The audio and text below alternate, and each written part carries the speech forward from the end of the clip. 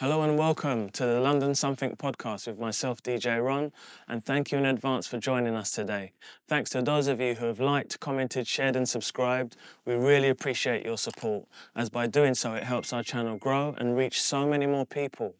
A special shout out to our sponsor, West End DJ, who, with their continued support, help us provide more of these episodes documenting the culture of jungle and drum and bass. Check out the link below and get their special discount for the best in DJ equipment for all your needs. In this very first episode of 2024, our next guest, compared with some of our previous episodes, may be regarded as one of the new guard of drum and bass. As one of the biggest new school artists playing some of the biggest shows in the UK and abroad, trust me, his story is equally compelling to any you've heard on this podcast. From his exponential growth, personal tragedy, and the founding of the What's on Your Mind charity supporting mental health in the music industry, please welcome my friend, the very talented DJ Turno Be saying to you, okay, bro? Yes, How you doing, brother. How You doing, yeah? bro? Yeah, love the intro, mate. Big up. Thanks Good? for joining us. Nah, mate, no worries. I mean? Thanks for yeah, I know you've got a down, very, very busy schedule, but I also know that you're a, a fan of the podcast. So, Yeah, yeah, so- yeah, definitely, man. I've watched a fair few of them. Yeah, so, so yeah. a lot of my mates have as well, so it's quite surreal to be here. There'll be gas that um, Yeah, I'm on the podcast still. So I appreciate you coming through, man. Good, man. You'd have known by watching how we kind of like go through this. This is mostly about the artist's life rather than their career, yeah, careers. yeah, yeah. But actually, I want to know some bits about your careers as well because you kind of like man. just, for me anyway, it seemed like you just turned up. You know what I'm saying? Right? Yeah, I'm, I'm, with you, man. I yeah, can, I can yeah. But, but, but before we get to that, I'd just like to kind of like go back to sort of like your earliest memories and, and um, you know, like, who is Turno? Who is Turno? Well, do you know what? Like, I'm, I've been into music from early. Like from early, my dad was in a band uh, like called Rio, which is like a cover band, but like Italian kind of cover band. They used to go Are through- you Italian? Yeah, then? yeah. So yeah, I'm? Italian. Right, Italian. okay, Yeah, right. Francesco Moliterno is my government name. Okay, right. so yeah, but yeah, my dad, my dad was in a band, so I was always influenced with music and stuff. I played like the cello, funnily enough. Which Oh, is mad. really? Yeah, yeah, yeah. Right, I pretty okay. much looked like it to be fair, because I was, I was quite a fat child. Oh, So- really? So, yeah, but yeah, yeah. So I played the cello as a kid. I played the piano, the keyboard. So I was definitely into music and that man, but um. Yeah, it was more just like a little bit of a hobby. Uh, I didn't really kind of see it see it as a profession as such. And then, to be honest, man, it was when I when I was in school and I had to choose my my performing art. Um, I think it was year nine or something. I think it is. And I actually wanted to do art, but like they, they there was no space left. All he had was music technology. So I was like, okay, I'll do that. And that's kind of where like the the proper um, love for it kind of started, I guess. Like I think prior to that, I had someone come down from someone moved down from London. Actually, that's what it was, and he had he was playing D and B on his Walkman on the bus. I think mm. that's when I first like clocked. Mm. Yeah, drum and bass. And I started to get interested in what's what are you listening to? What's this jungle D and B thing I listen to? And then I think off the back of that, he had Dex, and then Yeah, the, yeah. the kind. That's where the that's where the the the, the love, I suppose, for D and B and like kind of actively wanting to be like Mm. in the scene and start digging down this rabbit hole. Like mm. started, I'd say. So what was I about? Probably about 12, 13. So Yeah. yeah, 15, 15, 16 years. Were you were you born in this country? Yeah, yeah, You were born in this country. Yeah, right, yeah, yeah, yeah. Yeah, basically, my my um my nonna and nonna, which is my grandparents and my dad's so well, my dad's mum and dad, they moved over from Italy. I think in the sixties or seventies. Um, there was like a like Bedford's basically got one of the biggest Italian Italian populations in, in England. Uh, uh, it's, they had like a brickworks, which a lot of like the uh, yeah, a lot of uh, Italians come over from Italy to, to to work in, and that was in Bedford. And then my nonna, there was like a big, like I think she was like a, was it a seamstress? Is that what they called someone that Yeah, sews yeah, and that? Yeah, yeah, yeah.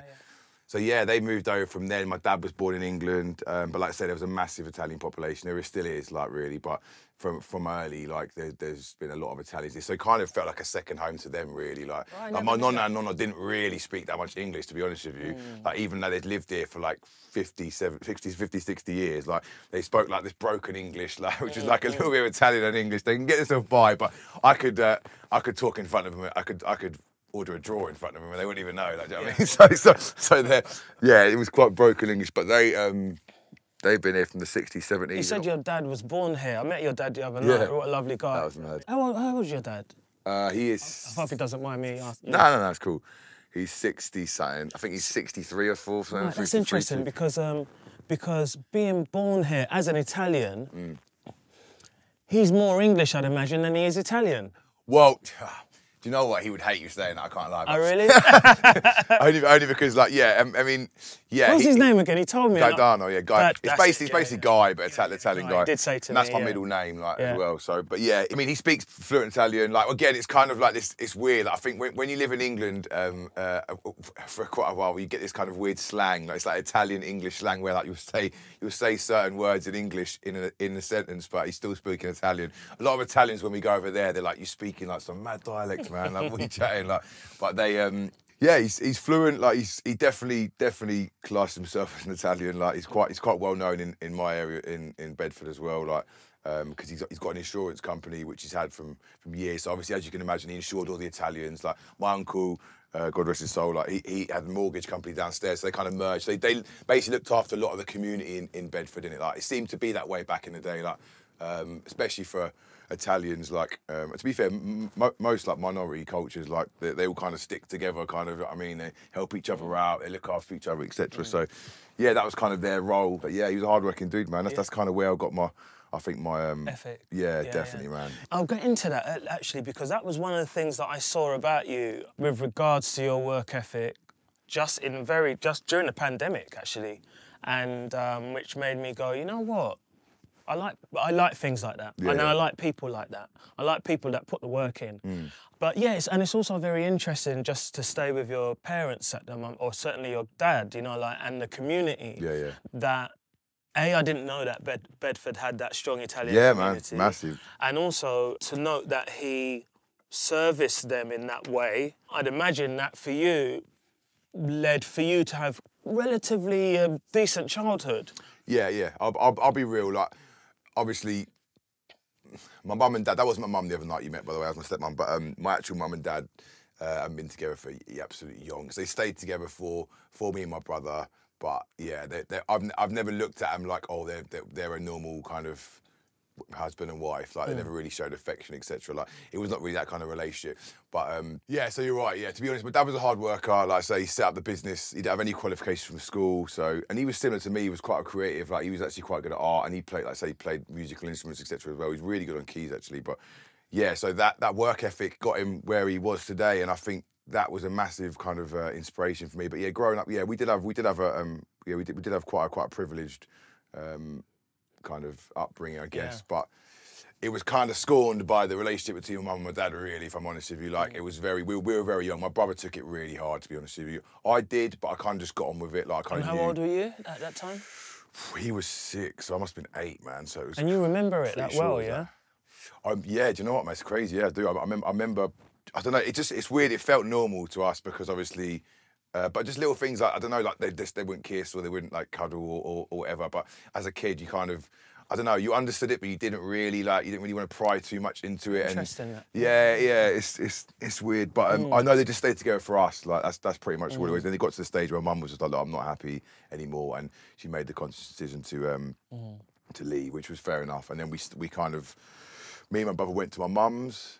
Uh, we lived with her, and we did two weeks there and two weeks at my dad's, like, which was hard because my dad, my dad had remarried.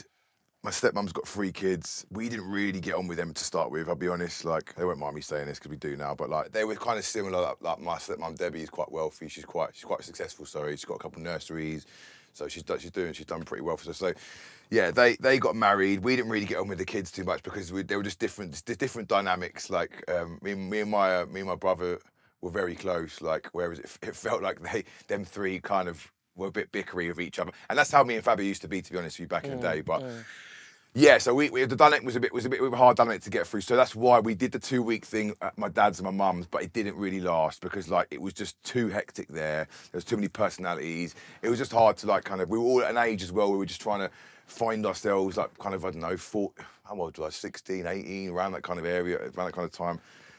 So yeah, it was it was quite a lot of uh, um, bit of a dynamic, like, too much going on in there, man. So eventually we just kind of done the stayed at my mum's. Full time. Yeah, pretty much. Like, Yeah, I, think, I think I still went there a lot. Like I, in my dad's, my dad's got a building where he does where he's got his insurance company. He owns the building, and I've got a studio in there. So I've been in there for like since I started my career, to be honest with you, which is I don't know, probably started making tunes about 20 years ago now. So that's how long I've been in that room, and that's how long he's had the, he's had the building for years. But like he supported me from then. Like I mean, they, they both have to be honest with you. Both my parents, like, like thankfully, like they saw what I what I was in love with, and they kind of supported it. Mm. Even though really my dad wanted me just to take over with the business of what he'd built.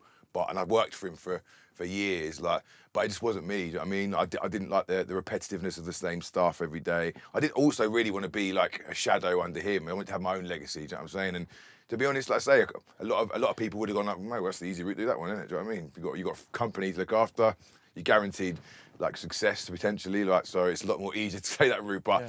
For me, it wasn't me, and that's why I respect the fact, like, fully that they both supported me because I know I know at that age a lot of people, a lot of parents be like, "Oh, it's a phase." That's what they was, That's what I thought they were going to say. It's a phase. Like, mm. supposed to be a DJ for a beat. He's not going to do anything. And I think a lot of people kind of see see it like that as well. When you first start and you say, "I'm a DJ," yeah, right, man. Not yeah. until you start bringing home the checks. Yeah, yeah. Exactly. When you start bringing home the checks, that's when it's like, "Oh, right." Yeah, you. Maybe it's yeah. something serious. You, oh, you play, play down the local pub every week. Yeah, yeah. exactly. Yeah, that's what I do, mate. Yeah. So yeah, yeah. it's it kind of takes takes a while to kind of take it seriously. But like I say, without their support, like both of them, to be fair, man. Like my dad for giving me the platform to obviously um, yeah, have a room in, in in the building which I could obviously have a proper. that way I was away from my home as well, like, and I could actually, actually had a, a, like a studio. I got it professionally, kind of acoustically treated, etc., etc. Mm-hmm. And that was that was that was really helpful. So that was that was massive for me. And my mum's always supported me. Like I say, she always has been. She's she's like my, one of my biggest my biggest mm. fan, man. She constantly watches my Insta stories. so so so you were saying that you you you felt or not you felt that it was a fact that you were quite privileged by the fact of like the work that your yeah. old man had put into definitely serving man. the community. In, reg- in, regards to how I was brought up, like I, I went to private school um, for my mum. We both did actually as kids. Then then then I went to Bedford Private School, which was an all boys school, which I I'm so glad I got out of that because I think I really think that's unhealthy to be with one sex. Like, and when when when when did that? Um, when you say got out of that, well, did you come out of it early? Or? Yeah, so basically, my mum and dad finally got split up, and then that's when that's when I got taken out of private school and were put into normal state school. What was the reason behind that then? Just what, by taken out, just yeah. just the finances, I think. I think okay, I think, yeah, gotcha, just, gotcha, it's a lot more expensive, yeah. And, and, there was obviously squabbling between, you know. Okay, like, yeah, I understand. So yeah, it got easy. And to be honest, I, I'm kind of glad, man, because like I really did not. I didn't really have. To be honest, school for me wasn't really an, a joy, a joyous. I was going to ask you. Yeah, that, yeah, it really wasn't. I, I, I, I was quite a butters you. I'll be, I'll be pretty real. I'll be pretty real. I've blossomed a little bit now, but I was butters, mate. Like, I had the, the teeth and the, oh. and the, the side part that my mum used to do for me. Like, i get your old man to send me a picture. I'm cut it in. Justin, man, you're queen. Cut I'm, it I'm happy to, happy to show the before and after, yeah, man. If you want to get cut it into the edit. yeah. But yeah, I was quite a butters you. So like, I, I didn't really have the best. Um, I don't know, man. I, I, I got, I kind of got bullied a bit, like for being, like I said, I was quite, I was quite overweight and, and, and whatnot, and I just didn't have much confidence. Like Fabio, my brother, who obviously unfortunately passed away, like he, he, he he was the confident, like the the, the gallus, the, the guy everyone wanted to chat to, and I was like the kind of bigger brother, just like just the big ogre and behind him, kind of like, can you talk to me? So like he was a cool kind of hip one, always had the cool hair and the, the cool clothes and that, and the confidence and and whatnot. Um, um, and yeah, so yeah, school wasn't really, really an enjoyable time for me until I went to college and I started to find myself a bit more because I think when I got taken out of that school environment, because getting out of that boys' school for me, I think was like a massive, massive positive because the thing is when I went to when I went to Lincroft, which was like the first state school, like I didn't even have to talk to a girl, man. I was like I was like fucking I got I used to, I used to go so red, I used to be so shy, I used yeah. to be and I just think like yeah, man, like it's, it's, it's, it feels like a weird dynamic to put to put um, to have like an a, a same sex school. I don't know if that's controversial, but it's just how I feel. I just think it's just like how are you going to interact? How are you going to learn to interact with the other sex? Like especially when young as well. Like, mm. you know what I mean? So I don't know. That's just my that's that's, no, that's no, what I were, felt. There, well, in Hackney there was a there was an all boys school, a, a couple. It took me quite a while anyway. I was quite a shy kid anyway, man. Like it took me quite a while to like really blossom in, in school or really find my place. You know, you got the smokers and you got the, the cool kids and that. Yeah, yeah, yeah. I, it felt it felt it was quite hard to find. But then also you and the new yeah, well. yeah, that as well, yeah, mate. Yeah. exactly. So I was a new kid, so um, yeah, it was tough. Like I said, I don't really have too many fond memories. Like I remember doing my GCSEs actually and um, my phone went off in the exam. I know I was, I was fucking screwing, man. uh, and um, they let, they was right at the start as well, and they were like, they were like, okay, it's okay, just do the exam. I've done the whole thing, man. At the end of it, like, sorry, we have to fail you, man, because your phone went off. And No they just went, way. I was like, bro, why didn't you tell me No how to start, you bastards? Like, yeah, so they done that. Really? And the thing is, like, the, the, Is that how they- that how they're running now, they're yeah? And I, ch- I check, I check, I check the call list. Like, who's it? Who called me? It's a private number. I was like, you fucker. So if you're out there, man, ruined my Oh, science no. exam. But yeah, so I, I got shit GCSEs, and, and even in music, I got an E in music, which is funny. But um, yeah, so I, I just didn't really get on with the school. I didn't like the homework, the school, the coursework stuff, like the So you weren't an academic. academic Nah, man, not at sure. all. I was yeah. definitely a creative man, hundred percent all day, and, and I just I was, I'm very fidgety, like as well. I always, I'm always like I don't know, playing with my, Yeah, ear yeah. or something Yeah, or whatever. yeah. I just can't sit still for too long. Um, so I think like just the thought of like. I don't know things like maths and like science and trying to really work out like that kind of stuff really like fries my brain. Now, Yeah, thank God yeah. I've got management who deal with the admin side of things now. Yeah, but like that stuff used to really, I used to feel stupid like looking at like a like I don't know ten or fifteen receipts. I used Mm. to like feel so stupid after. I'd have like I- I'd have to like go for go for like a walk and just clear my head because I couldn't do like the admin then then the creative. I, I had to like have a break and like reset my brain Mm. Like, because it was just like too. It's the regimentedness for me which I don't like. I like the free the freedom to like move around and just like be creative with with it instead of just like you're just basically copying pasting something, aren't you? Yeah. Really, like, it's It's very. quite interesting actually because you're saying that, and um, I think my very first interaction with you was during the pandemic. We were a part of, which we still are, part of this DJ group, which was Yeah, oh, yeah, the Music House the music yeah. house uh, WhatsApp group, which was formed by uh, Steve Fantasy.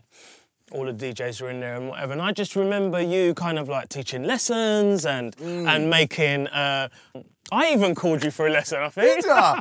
I, I actually, I actually done, Yeah. one with, I done one with Zinc actually. Yeah, I yeah. I done one with, is it Ben? Is that Yeah, Ben, that's right. Yeah, yeah. I think, I think, I can't remember what happened, but I think you sent me a. Uh, you also sent me like a CD of, like, not a physical CD, but you created like some samples and Oh sounds and yeah, stuff yeah, like that. yeah, yeah. Why am I bringing that up? Is because to me, that registered to me as a certain level of organisation. Yeah, yeah. yeah. To have to do that, so to hear you saying, actually, I didn't like being organised. I You know, like, I didn't like doing Yeah, that. well, do you know, I it did that- I sounds did like that- I- two separate things. Yeah, you- I, I had a team. I think. Do you know what? Uh, That's one thing with me. I'm very. I'm very. If I, when I get to survival mode, I'm like, yo, I got to get on it. I'm not. I'm like, right. Let's do this. Let's do this. Mm. Let's, I, when the pandemic hit, like, because I, I I've been teaching for quite a while. Um, I was just doing private lessons. People were coming to my studio, and I was doing like uh, day days with them. And So it was that place in Bedford then? Sorry yeah, to yeah. so. That the- was in Bedford. That, that, that's that's that's that's the basically the, the studio I'm in. right, my, my, dad, okay, my dad's yeah, yeah. office. It looked so like a front room. It looked like a really nice front room, and there was like a window over a, a high street. oh, that's that is my house. Yeah. That's your place, Yeah, right? yeah, okay, yeah, yeah. Okay, mate. Oh, I know. Yeah, that. Yeah, so I've got a little. I've got a little uh, setup at home. I've actually bought my studio at home now, but I'll, I'll get into that um, later. Why I've done that, but yeah, um, I don't know. Yeah, when it comes to survival mode, you just you just kick in. But I was, I was teaching before, and uh, yeah, when lockdown hit, I, I was actually doing really well off it. It got to a stage where I had to like, where before lockdown, and I, I did the teaching thing. I, to, I actually. Was, was was was helping people so much that I didn't even want to make music myself. Like I was like, I don't want to make tune. I've, I've spent seven hours with this guy, like t- telling him how to make a tune, like or showing him. Sorry, and like I don't want to get in the studio now. And, and I got to the point where I had to make that executive decision to go, bruv, I'm not ready to be a teacher yet full time. I want to. I still got music career to do. Like, and that was before my second album, and I had to. I had to really dig deep and just go right, cool. Let me just. Uh, I have to park the bus for a minute and just. Uh, yeah, do do the music thing because it, the dynamic changed, man, for me, and that's when I put it to bed for a bit, and then and then yeah, lockdown hit, and I was like, "Raw, okay, I need to make some money. Let's do this. Like, let's actually make this business work." And and it really, again, it really popped off, and I was so busy with it during lockdown. I remember like, I used to come to my, go to the studio. Obviously, you weren't meant to go out, were you, or anything? But um, it was it's only like two minutes from my house, so. Yeah, I used to bike there and then just uh, yeah do a less do a couple lessons whatever. I come home and it'll keep me ticking. It'll, it'll make me feel like I've got a purpose as well. Do you know what I mean? And then from there, it just evolved into because Jack Hedex, he's got his he had that, that that that site by the producer, which is like a sample, like a Loopmasters kind of thing, but he had his own one. And yeah, we ended we ended up eventually cut long story short. We we we had a plat we invented a platform called Ethos, which is like a tutorial teaching platform, and then we joined forces with him um, to create this kind of merge of the brands, and it, it did really well. To be honest with you, like it did really well. We had loads of artists. We it's still going now. To be fair, we, we had loads of artists kind of getting involved to record content, and it wasn't just necessarily videos about production, but I don't know, I had interviews with like Bridge and Inter or, or, or my agent or my manager at the time, and just like just to get an insight into like their life, their career, similar, I suppose, to this to an extent. Yeah, yeah. Um, and so there was quite a lot of different kind of content. We had like a group on there as well, like a um, an, uh, a Discord channel where every every month we'd have like a kind of a mission we'd call it, where you have to kind of the people on board had to like I don't know make a track with these spec- specifications, and then I would I would kind of like live I would record like a message and actually like uh, say who the winners are, etc. etc. So yeah, I was, I was in man, I was fully in. It kind of kept me sane through lockdown, and and it was really good. Like, I could feel this thing building, and I was like, oh, this is gonna go sick. And then like I say, when when we come out of lockdown, unfortunately, it's just like the priorities changed a little bit. Like it's still ticking over, and I got to big up my team for for um, working with me on it and still looking after it now. But like I say, it comes to the point where you know you're doing got too many things going on, or you're planting too many trees, and like they're not all really growing because you're focusing too many on too much on all of them, rather than like the mm. one thing that like you are here for. You know what I'm saying? yeah, yeah, and then when yeah. you get to that point with that one thing you're here for, then the mm. opportunities will come to then be able to Do water other these things, further. yeah, yeah, exactly, man. That's that's kind of what I realised. And I spoke to, I think it was actually Brucey, man. He told me he's like. He's like, he's like, bro, because he had a really successful clothing label, Mm. and he was he was just about to really blow, like, and he was like, mate, I, to- I couldn't do, I couldn't, I couldn't have like uh, all these these yeah it wasn't working for me man and it really made me think and I remember him telling me that when we were in uh, New Zealand and I was like hmm. and then when I come back from New Zealand I was like look I'm gonna I'm gonna take a little step back from this because I just haven't got the energy or the time it's making me feel like too I mean, it's much, a very man. kind of like brave thing to do because because um, you know a lot of people would consider, oh right, yeah, I've got a few things popping off here, and because I've got a few things popping off, I'm going to keep them popping off. yeah But then there is the school of thought that says, well, actually, perhaps if you let one of them go, I mean, the other it's hard. really. It's Yeah, it is, hard. and that's do why I say it's brave to do it. It's because- hard. It's hard because, like I say, you you're scared. But then, for me, like I say, like I, I just, I, just come to that point. I was like, look, you know what? Like, I'm not done with my with my DJ career. I'm, I haven't even peaked yet. Like my, hmm. my producing, etc. Like I'm, that that side of my career. Like so, me putting all my energy into this, like it, that is going to suffer, man. Because I'm not going to. I'm not going to make as many tunes. I'm not going to be as switched on. It was a very hands-on job. When, when we were doing it, like fully, like every, we, we were full time with it. When it was lockdown, every, every single day we'd have a meeting, we'd have a Zoom meeting, us four, and we'd be going through things. We'd basically be at the desk for like four or five hours, just sort, sorting things out. There was a lot to do. So when that was when we had nothing to do as well. So when it all come back and we had gigs and all these other pressures that you almost forgot about, like the the pressures of the travelling and etc. etc. I was kind of like, yo, this this is this is too much, man. I can't I can't physically. And it got to the point where I didn't enjoy. I didn't enjoy. I was like, I was like, I, this is where I know I've got to make some changes because I'm not. Mm. I'm not. I don't want to do this. Like I haven't got the energy, but I don't actually physically want to do it because I'm like, I'm looking at. Oh, it's a bit of a chore, man. That's when I was like, look, that's not right. No, that's not take a nice. step. Yeah, nah, yeah, no, no, yeah, no. yeah, yeah, So I, was like, not I made. right. I made the right decision. Yeah, right, yeah, yeah, pull yeah, out of yeah. this. Mm. Keep it ticking because there's mm. still there's still a number of people on the on the platform yeah, yeah. that signed up. No, I, I, I, I recognise that in so much um, just through other things in my own life where I've had to go, oh, you're screwing about you having to go here now. yes. You're screwing about that. When you got them you feelings. like, you used to like going. Yeah.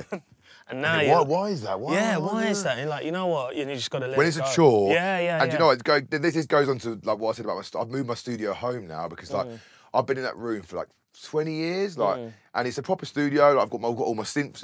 It's, nice in there. It's, it's it's not too much bigger than this. It's probably smaller, but it's more long and narrow. Yeah, yeah. So, but it's just it's just a studio. It's not. Mm. There's no sofa. There's no like chill room. There's nothing. It's the, it's the room where you work, and that worked for me for, for many years. Like I Yeah. love that. I'm going there whenever I want, make as much, much noise as I want. Yeah, there's no problems at all. I'm there. Got free parking. It's secure. Bang. Like all good. Like, I've been in that studio for like 15 years. Tried to I just wasn't really inspired anymore in there anymore. I tried to make some changes, etc., ambient lighting, etc., move some things around, but it wasn't really working. And, and it's not until recently that I went to. Um, I said to my manager, he's from Manchester. I was like, I was like, can you get me an Airbnb for the week? I just want to change. I want a little fresh. I broke up with my, my missus quite soon, uh, soon around this time as well. So I was like, I want to get out of this space. I want to go. I want to come away and just like be inspired in a new area. So yeah, he got me a he got me a, um, a gaff. Um, he's a he's a Man City fan as well, and I'm a Man United fan. He got me a fucking gaff right next to the Etihad, bastard.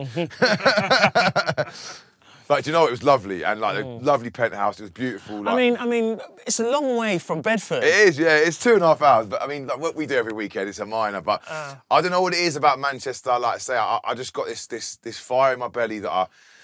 when I go, whenever I go there, um, I don't know, man, what it is. I just, I just love it. I just love the people. I love the the, the vibe, the city, just, just the energy there, and, and I also love just being kind of like a no, not a nobody, but just being like someone just fresh there. Do you know what I mean? I don't really know that many people there. It's quite, it's quite exciting. Like just not reinventing yourself, but just being like a, I don't know, being like a in a big city. You know what I mean? Oh, like so. Um, yeah, like every time I've been there, I've got this kind of vibe, and I was just like, oh, I want to move. But anyway, when we, when he had when I had this gaff for the week, like I just got so much done, bro. I brought all my studio with me. I just sit up, I actually sit up on a the guy had like a pool table. I sat up on the pool table downstairs, got a couple chairs, made a makeshift studio, and yeah, man, I was off and I was there for like four days. I made like eight tunes, which was like for me really good, like for like that short space of time.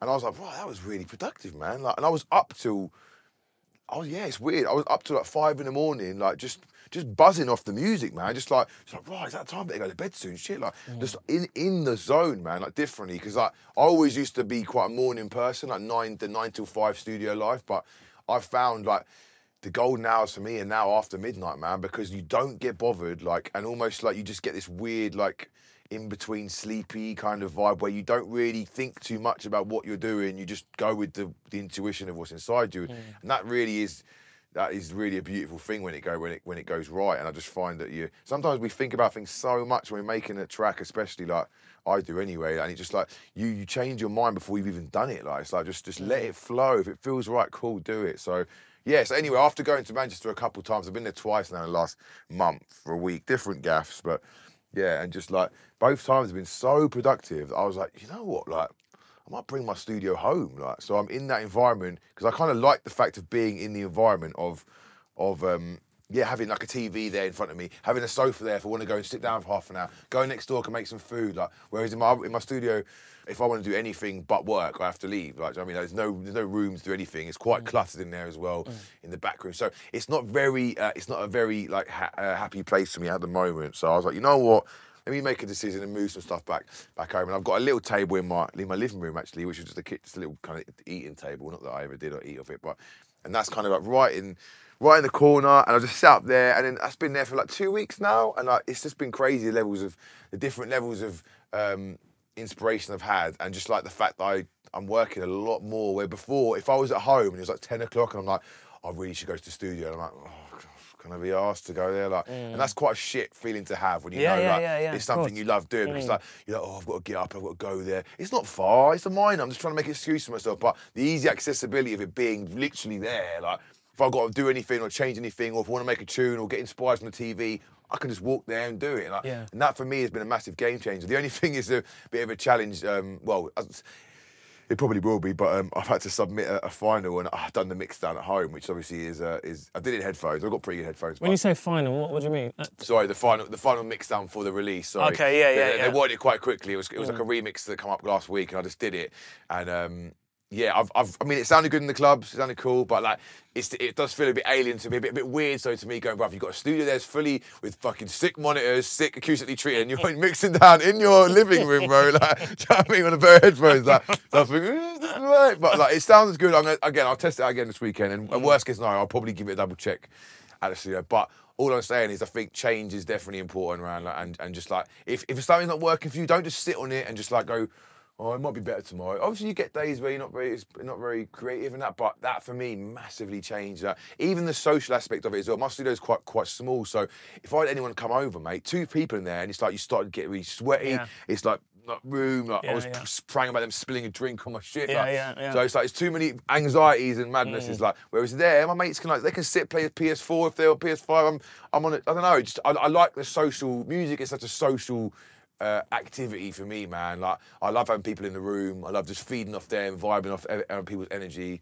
I mean, being a solo artist can be quite lonely a lot of times. So it sounds pretty shit, but that, it, it, got to the point in, like where my studio felt like a. I could say it wasn't a place I wanted to go to. Similar to what, similar to what you said earlier about about the ethos and the teaching. Yeah, I was yeah. like, that's what I started to. I started to like resent like, and I used to be like make excuses for not going and stuff. And I was like, this is not right, man. Like, I want to make tunes, but I don't in there. Like, mm. and it took me a while to really figure out because, like I say, I've got a studio that's fully be.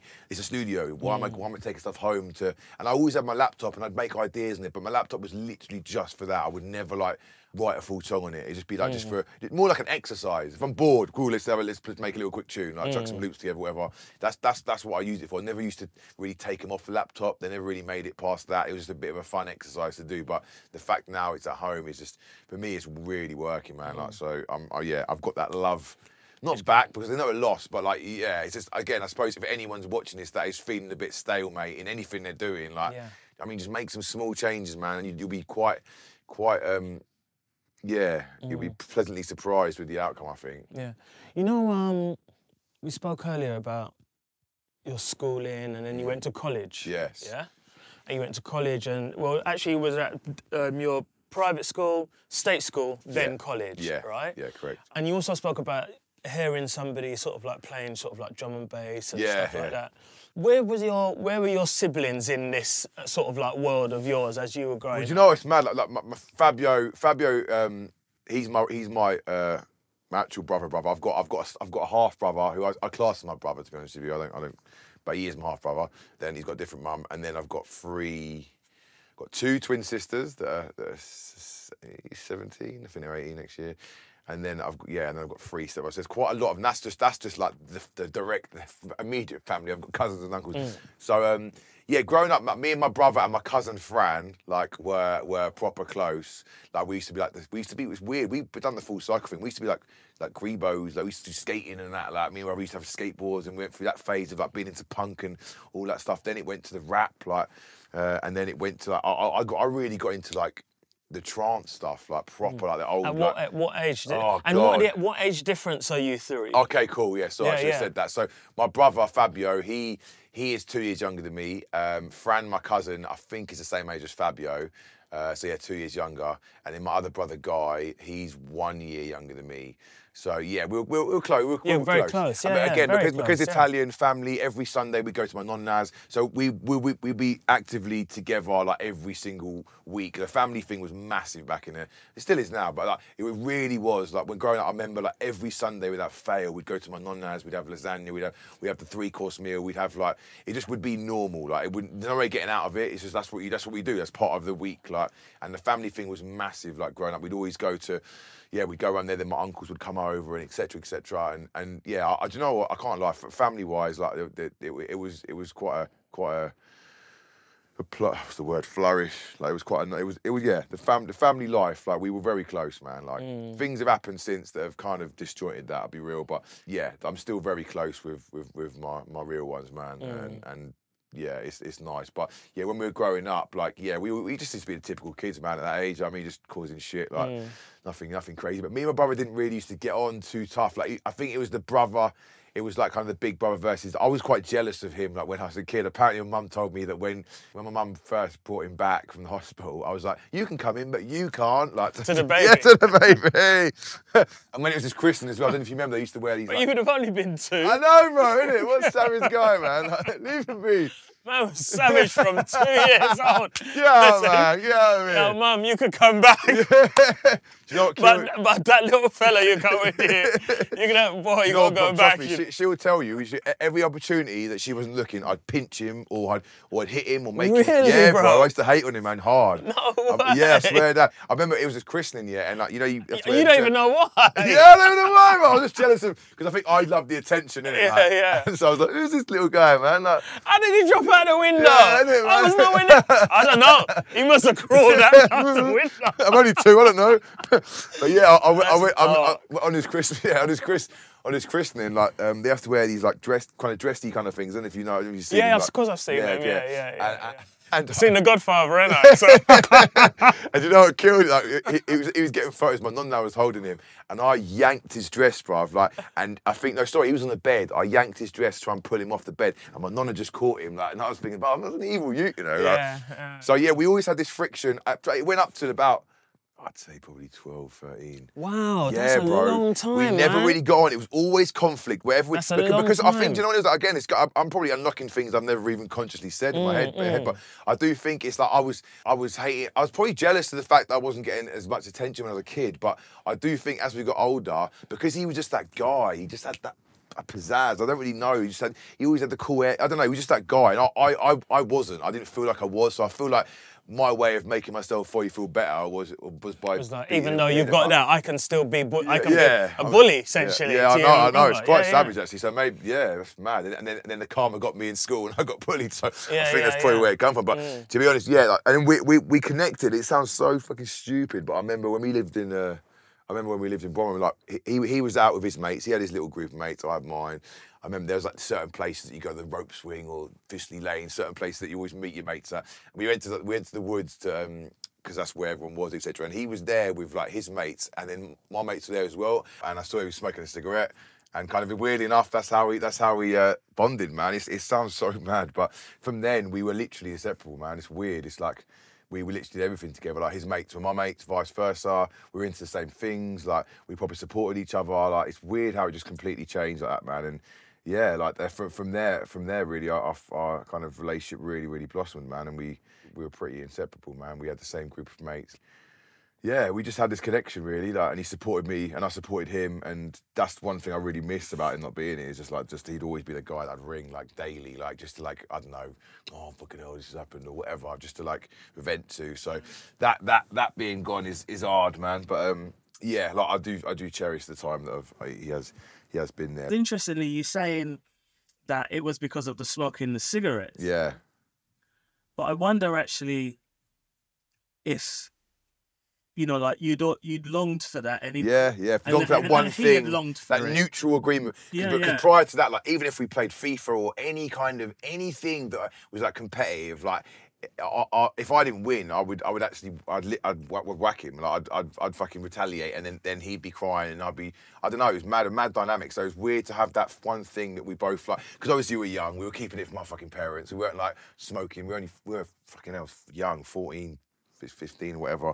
So yeah, it was still quite. So I think that kind of like, oh, you do that as well, yeah, sick. Like, and then yeah, we just we just it just kind of went from there really, and it's weird. I think we both respect each other because I looked up to him because he was just he just had that that energy. Like I said to you earlier, like I was not really a popular kid in school, so he, he had that that vibe, that confidence, that swagger about him, which I longed for. And I think a lot of like his style kind of I definitely got influenced by that because he always like he always just looked the nuts, man, all the time. Like doesn't matter where he was going, what he was doing, he always looked 10-10. Like and if I was going out with him, I was like, fucking hell, I better, I better get the good shit out, I better get the, the good garms out, whatever. And I, I would make sure that uh, I'm on I'm on his level, and I think he respected my work ethic because he always looked up to me because he wasn't he wasn't the most um, business minded guy. He got involved in some in some pretty in some wrong in some with the wrong crowd, started doing things he shouldn't have done, etc. etc. And that was him for a long time. Like I think he he looked at what I did with with. Uh, with pride and like kind of almost inspired and and proud. Yeah, pride is probably the best word. Like, and uh, because he could see like that I was striving for something. He could see that I was putting work in. I was, well, uh, yeah, and I think I think that mutual respect from each other, and we both just were just there, man, for each other. Like we both supported each other fully through through everything, and and and yeah, man, I definitely think we helped. He come to a lot of my come come to a lot of my events, like. Back in the day when I used to do like I used to have a brand called Time Is Now. I still have it, but it was mainly a clothing brand. But we then did like events and stuff, and yeah, he would come and help, and I mean help sell the clothes at it, and he'd want to be involved. He'd help with the creative process, and we'd have meetings about what to release next in regards to, to clothing, and and he'd be a massive creative director in that. He would he would have like the yeah he would know he, he was big on little little things like he, he, he wouldn't have a hair out of place. So like when it comes to like designing something, like he was very creative like as well. Like he would he was sick at drawing. Yeah, man. So together, it was just a sick little, sick little team, man. And and say, I, I, I, I cherish them, them years we had together, um, growing up. You know, um, interesting is to hearing the dynamic of how you grew up in your earlier ages and how that changed into the friendship. You know what I mean? Yeah, you know, like you know, because it was almost like it was he was like your enemy in many. yeah, ways yeah, yeah. back I. I can't lie. I, I don't even know why. I don't even Yeah, know why. yeah, But I just, I think it's coming back to maybe being jealous and maybe the traits he had, which I wish I had. wish- yeah, yeah, yeah, yeah, and probably same for him. like- Probably same for him. He probably looked at me and thought, "Oh, I wish I was as hardworking as Frank, or wish I found that thing that he, that because I found music quite early. He, he he was he was pottering around different jobs. Didn't really find um, his proper thing till later on, like late twenties, man. Which when by then I was doing this full time. I was there, and I get it. He had the pressures then of like going because my dad's pretty successful. Like he had the pressures then of trying to like um, uh, yeah, try and live up to them kind of expectations, I guess, of like, oh, Frank's doing really well, my dad's done really well. I'm still struggling to find what the fuck I want to do. But even like- before, even before then, from what you're saying to me, yeah, uh, um, I hope you don't mind. no, no, bruv, talk about it, man. yeah, Yeah, I'm happy to talk it's about like anything. it's like is that you say that you know like just gonna go with a little bit of a timeline. Yeah, of course. So you you you're 15 then, right? You're Yeah. like in upper school. You're almost about leaving. school. Yeah, yeah, basically, Yeah? yeah, yeah. And um and in that time, in that time, you're in the woods smoking. Yeah, yeah. You know what I mean? You you know like you're doing what what kids do. You know Yeah, what I mean at that age. But just let me get this right. Were you all had you already found your way in music at that time a little bit, or were you already? It was a, by then it was a hobby. So it was a hobby, and we had a little crew in, in my ends like who was all into it. And it was a drum and bass crew. Yes, yeah. So we had a little crew. There was it was weird because it was not weird. So it was, it was funny because there, there was like an older crew who were like kind of like the the um. They had like the Vestax Dax decks and like the, the good shit, like the Technics and that. We were still on Gemini's and like IMGs and that. They were like the guys, like they were sicker at mixing. We looked up to them and it like they were like the olders. Like we'd see them, see them sometimes out and about, but like yeah, to get invited back to their yard to do a mix was like a fucking privilege, man. Like, do you know what I mean? So that was kind of like as big as it was for me then. Like I was just enjoying just like the the community, the fact that we were all into this music, like just having a passion for something. Like, and then when I bought a pair of decks, like. I remember I bought my first pair of decks and it was like a, a pair of IMG belt drives. And he gave me, I, was, I don't know, it was about five or six vinyls. I, like, I remember I had like Friday by Dre, I had like um, Addicted to Bass, like a tune, a couple of trance things. And I was actually trying to mix them together, not having a fucking clue what I was doing, bro. but just having some fun, just like mixing about. And then my mate had a pair of decks, the one I said come up down from London. He was a he was a massive like inspiration into actually me getting into this really, man. I've got to big up Sean Dodsworth, man, like absolute G he showed me this music which I didn't know what it was, and and from then we just got accept- obsessed. And there was a good, there was a good, I'd say at least ten to fifteen of us in this village that were fucking like proper on it, man. For it, like we, What year was that about? well, yeah, it would have been when I was 15, 16. So yeah, 2002, three, early 2000s, man. Like, that's when I properly like got introduced to this. I think the first tune I even heard, and I, I, I mean, this is this is definitely older, was was Pulp Fiction. That was like the first show. I remember we were out on like a sleep out in the, in the woods, and like that was come on. And I was like, yo, this is hard. And then from there, I was like, yo, I want to know more about this shit. Because like before, it was just sets that he had on like his on his Walkman, like back in the day sets, like Islamic vinyl, Accelerate Culture, etc. And um, yeah, I, like I say, I just fell in love with it, man. It's like, what is this music? What is this like? What is this thing? Like, what is raves? I just got really obsessed with it, and because we had like loads of us so passionate about it, it was just sick, man. I mean, that part of it, like my childhood, that's when I suppose like it really started to get exciting, man. Because it was just like, yeah, it was like, oh, I'm finding out new things. I'm finding out who I am, what I might want to do, and I, I just like.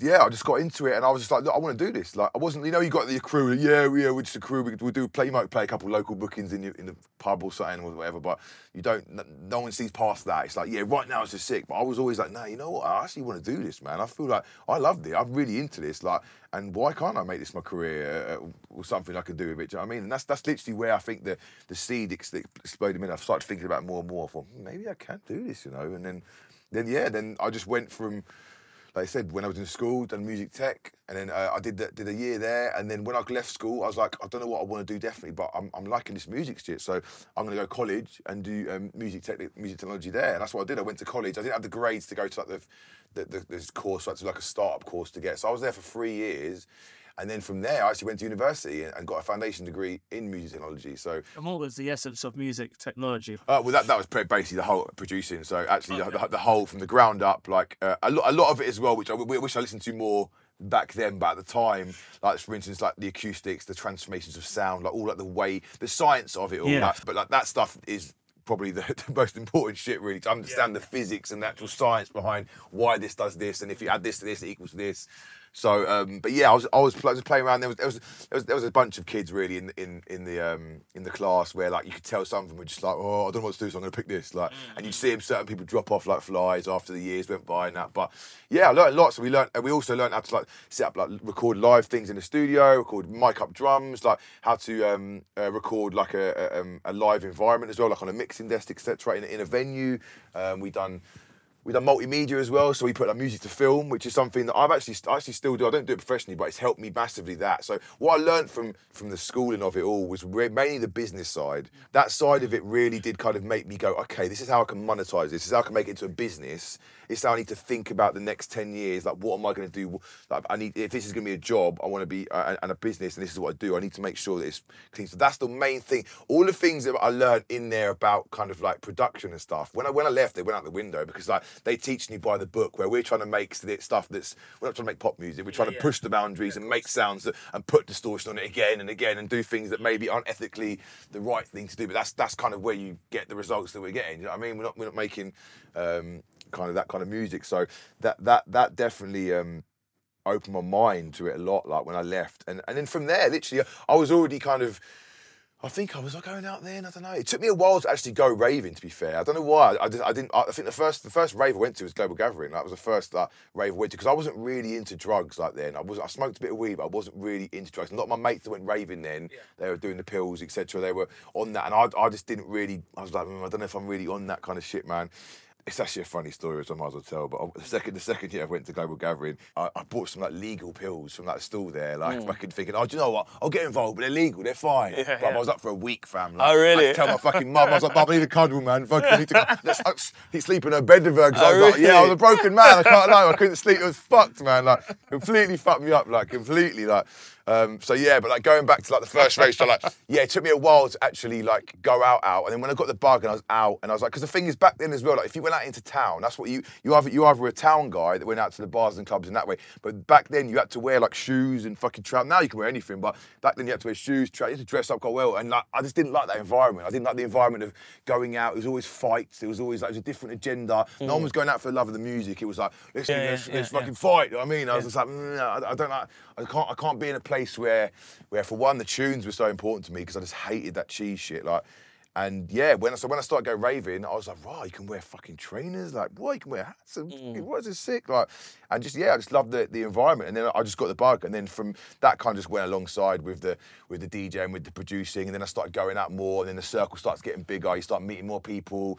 And back then you used to hand out CDs to like people, like to like I don't know, Hazard was my idol, man, like still is, but like he was the main guy. Was I think he's the he's the main guy that made me think, fuck me, I really want to fucking do this. But yeah, I remember giving him a CD at fucking Valve Sound or something, like giving like bare man CDs and stuff, and just like just basically canvassing like that and building your network out. And then the more you start going raving, the more you start knowing people. Then you know, then you might see X Man again. You go, oh what, mate, you what? And then you start building, building, and building, and then then yeah, from then you kind of yeah, we had a couple lucky breaks. Like, luckily, my mate Harry Bizzle, like who's still my best mate, um, he doesn't make drum bass anymore. He doesn't, sorry, doesn't play drum bass anymore. But um, yeah, like he he he was another one that was really hungry with it as well. That I met through this kind of like journey, and he wanted to take it there as well. So we had this, we both had this kind of like passion to go. Lad, we want we want more than just like playing in our bedrooms and that. Like we want to take it further, and we did. And he was really, he actually had a really successful like.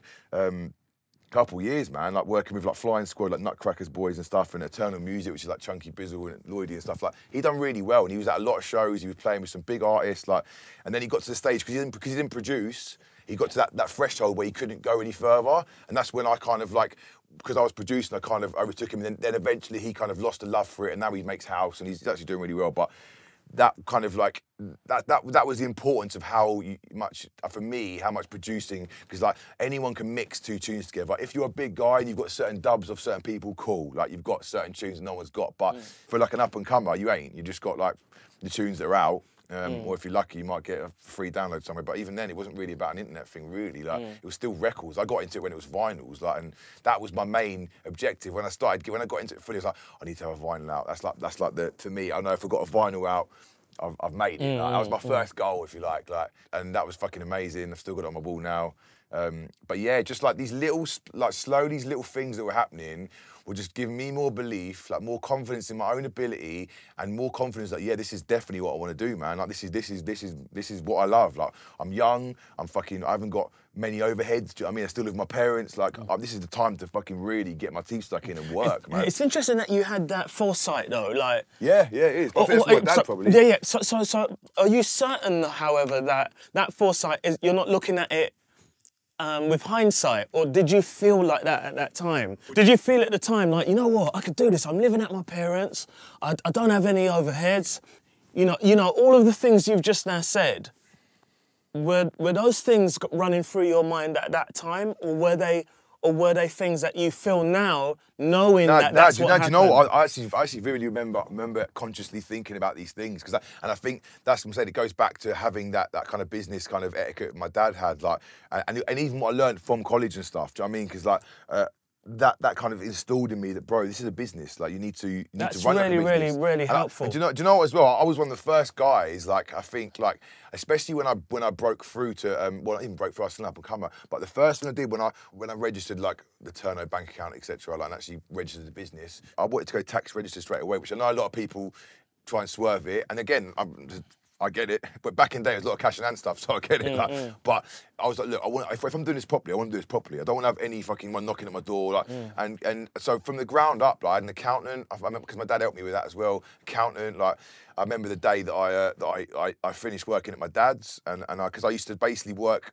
I used to work there full time. Then it got to a stage where like Tuesdays and Thursdays I'd finish at one, so I can go upstairs to the studio and, and work then. And that kind of worked for me. But what I find myself doing was like because of the certain sound that I had, and I had the booking at the weekend or whatever, like I would just be write, writing tunes for the weekend, like which is cool. Nothing wrong with that, but I didn't have a chance to really explore my musical capabilities because mm. like I was like what, four hours. I got to set on weekend. I need to make a fucking banger. Like, do you know what I mean? It wasn't mm-hmm. really like a like a one in ones where I could let the tune go left if I wanted it to. If it went mm. left, I go nah, go this way. Like it's gonna need to be mm-hmm. like this. So after a while, I was like, you know what? I'm gonna make the jump now. I remember I had a grand in my bank which I saved, and I, and I told my dad, look, I'm gonna, I'm gonna, I'm gonna go full time. I'm gonna make, make the jump, and um, I did. And I fucking, I can't remember what age I was. I remember putting a Facebook status up. Someone even messaged me the other day saying, "Fucking, I remember this." Like, but I, was- I was young. I was young. I probably put early, early twenties, all right. Like, and I made the jump. And to be honest, mate, that's when it all changed, man. Because I literally had, I knew then that like, bruv, it's all on you now, bruv. If you fail, mm. you've got to go back to your dad's or go back to get a job. And that, that for me was the biggest motivator. It still is now. Like, if I ever, if I ever had to go back to working or quit music, like I would feel like I'd failed. And I know I haven't, but it would, it would burn me knowing I've got to come out of this because I've failed. Like, mm. so that, that for me was the biggest motivator, man. I didn't stop because of that, because I thought the thought of like going, oh fuck, I've done, fucked it up. So th- with that energy, I just fucking rip music. Well, well done, mate. Well done. You know, because that is that is a um, the fact that you were at that age and you were able to, you know, follow those breadcrumbs, or not even breadcrumbs, because they're not actual breadcrumbs. They're more desires. You know what I mean? yeah. You're into the music. I'm gonna go and do a course on it yeah, then. yeah, man. Just yeah. another common sense step. Yeah, exactly. You know what I mean? Okay. Oh right. Instead of thinking about it for 12 Yeah, yeah, yeah. Oh, So- right. So now I'm at the course. Oh, they're teaching that. Oh, so right. Oh, it's a business. Yeah, yeah, yeah. Oh, you know what? Uh, you, you've already got this sort of like work ethic instilled in you that I've got to go to work. I mean, lo- loads of people have that, but Yeah, yeah, of course. But kind of reminds me of like when I was at the talk the other day and yeah. speaking about how in the very beginning a lot of people in the very early stages it was so excited Mm. about the fact of oh shit I just got paid. Oh, I got paid again. Yeah, yeah. Oh, wicked. Do you know what I mean? Yeah, yeah. Oh, right. People are patting me on the back. Yeah, yeah, oh, I must yeah, be well true. known. Yeah, yeah, Oh, do you know what I mean? yeah, Oh, right. Exactly. People are saying my name. Drinks, yeah? Yeah, yeah. Oh, I don't have? Fuck yeah. I don't have to pay. Yeah, really? yeah, yeah, yeah. Oh, That's wicked. food, yeah, the- for the yeah, back, sweet. And, you- well, all of that is for me. I'll take it all. Yeah, yeah, yeah, yeah. But it takes a while um, before you realise that, shit, this is going to be every weekend, guy. Yeah. But if you're able to very quickly recognise in the early stages that, right, this is going to be every weekend, this is a business, mm. I'm going to manage it in that way. I think as well, a lot of people like live. They were living for the moment. They weren't really thinking about the next ten years. They weren't thinking next five years. They were going, yeah, cool, got paid. Let's get fucked up or whatever. Let's go and go mad, and, and then think, remember, think about the, the, the next day, the next day. Like with me, I was kind of like right. I had ten, but I was always big on fucking yeah, writing my targets for the year. I still do it now. Like I've got it on my my whiteboard in my studio. So I look at it every day, and I think planning is everything, man. You got, you, what do you want from this? Do you know what I'm saying? You got to ask yourself, like, do you want to just, are you just doing it for right now because it's cool, like, because it sounds cool and you're working? Well, think about it. Whatever you're doing, like, what is it you want from mm. this, this job or this current? Yeah, what do you want from life, basically? Like, yeah, and that's yeah. that for me was a really important factor to go. What is it I actually want? And then when I started writing these goals down, like they started fucking happening, bro. Like I swear down, they started happening. Like, and I remember one especially, like when I left Urban Agency, like big up them guys because they fucking they really did uh, um, start my career. Um, and Echo messaged me. Uh, well, Echo. uh, It was weird. It was weird. I met Friction for a meeting about a label thing because he wanted to get me on a label, and he was with Obi, who obviously runs uh, Echo now UTA, and he was there, and I, I was like, and that was on my list to join Echo. Like, so I was like, this is mad how I've just met him. Then a couple of days later, bro, or next week, I got I got an email saying uh, we want to have a meeting, and I was like, fucking yes, bro. Like what? And then yeah, the rest was fucking history, and I, I was like, wow, this is mad. Like this is actually, and I was one. The, I think pretty sure I was one of the first like jump up acts, like whatever you want to call it, to actually cross over onto that agency. Like really, like the solely known for that. If, if correct me if I'm correct me if I'm wrong, anyone out there, but. So yeah, to be on there at that at that stage was was was fucking massive for me, man. I mean, I was And what year was that?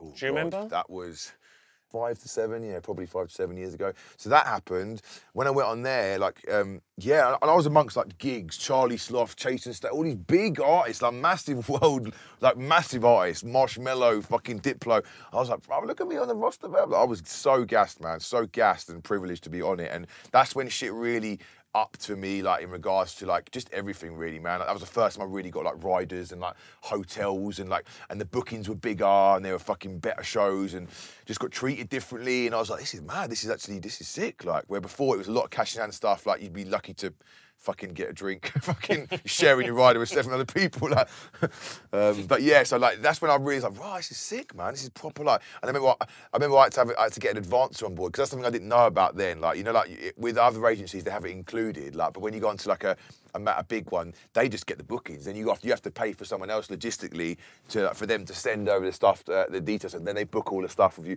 So that was quite an interesting. Uh, thing I had to deal with because I was like, oh, what, what more money I got got to give away? Because that was that was it was already ten percent to them. Then it was like I think I had to pay like hundred pound a show for them, etc. So you're like thinking, fucking hell, this is mad. Like, but then when I got into it, like the Nocturnal guys who who I was with before, um, they're fucking amazing, man. Like, and you realise that they are literally there for you twenty four seven, and that's when you're a solo artist and you're you're quite young, you're quite naive to this new lifestyle. Do you know I mean? If you ever, I remember missing flights or just something fucking up, it doesn't matter what time it was, they were 24 7. Like, if I messaged them, someone would get back to me within a couple minutes. Don't worry, we'll sort the flight for you. And then that, that having that stress taken away from you, because everyone's been there, every artist, like when you start flapping because you're like, oh shit, my flight was an hour ago or whatever, or you might have missed something or missed a lift or to have someone there, network there to actually to like support you and, and, and help you. And I got really close to them, man. Like it was quite a shame when I had to leave, but it just made more business sense to keep it because Inside the Night, who's my management company, they have a, an advancer there, so it made it made more sense to keep it all in house eventually. But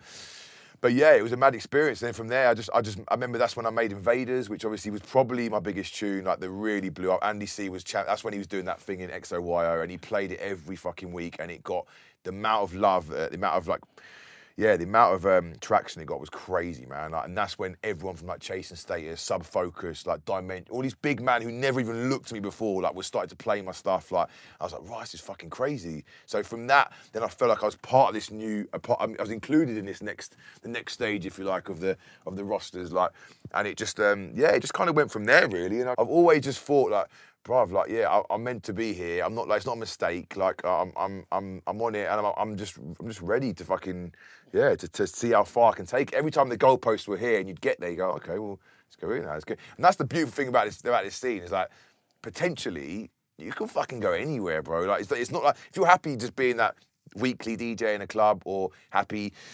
I don't know, doing whatever it is, like then cool. But like you can potentially take it to here, to, or you can go down the multimedia route. There's so many different ways. Like even recently, I've just started doing like kind of like studio sessions with, um, with, with I've, like writing camps and stuff, which I've never really done um, since since about since last year. I think I did my first one, and like even that was.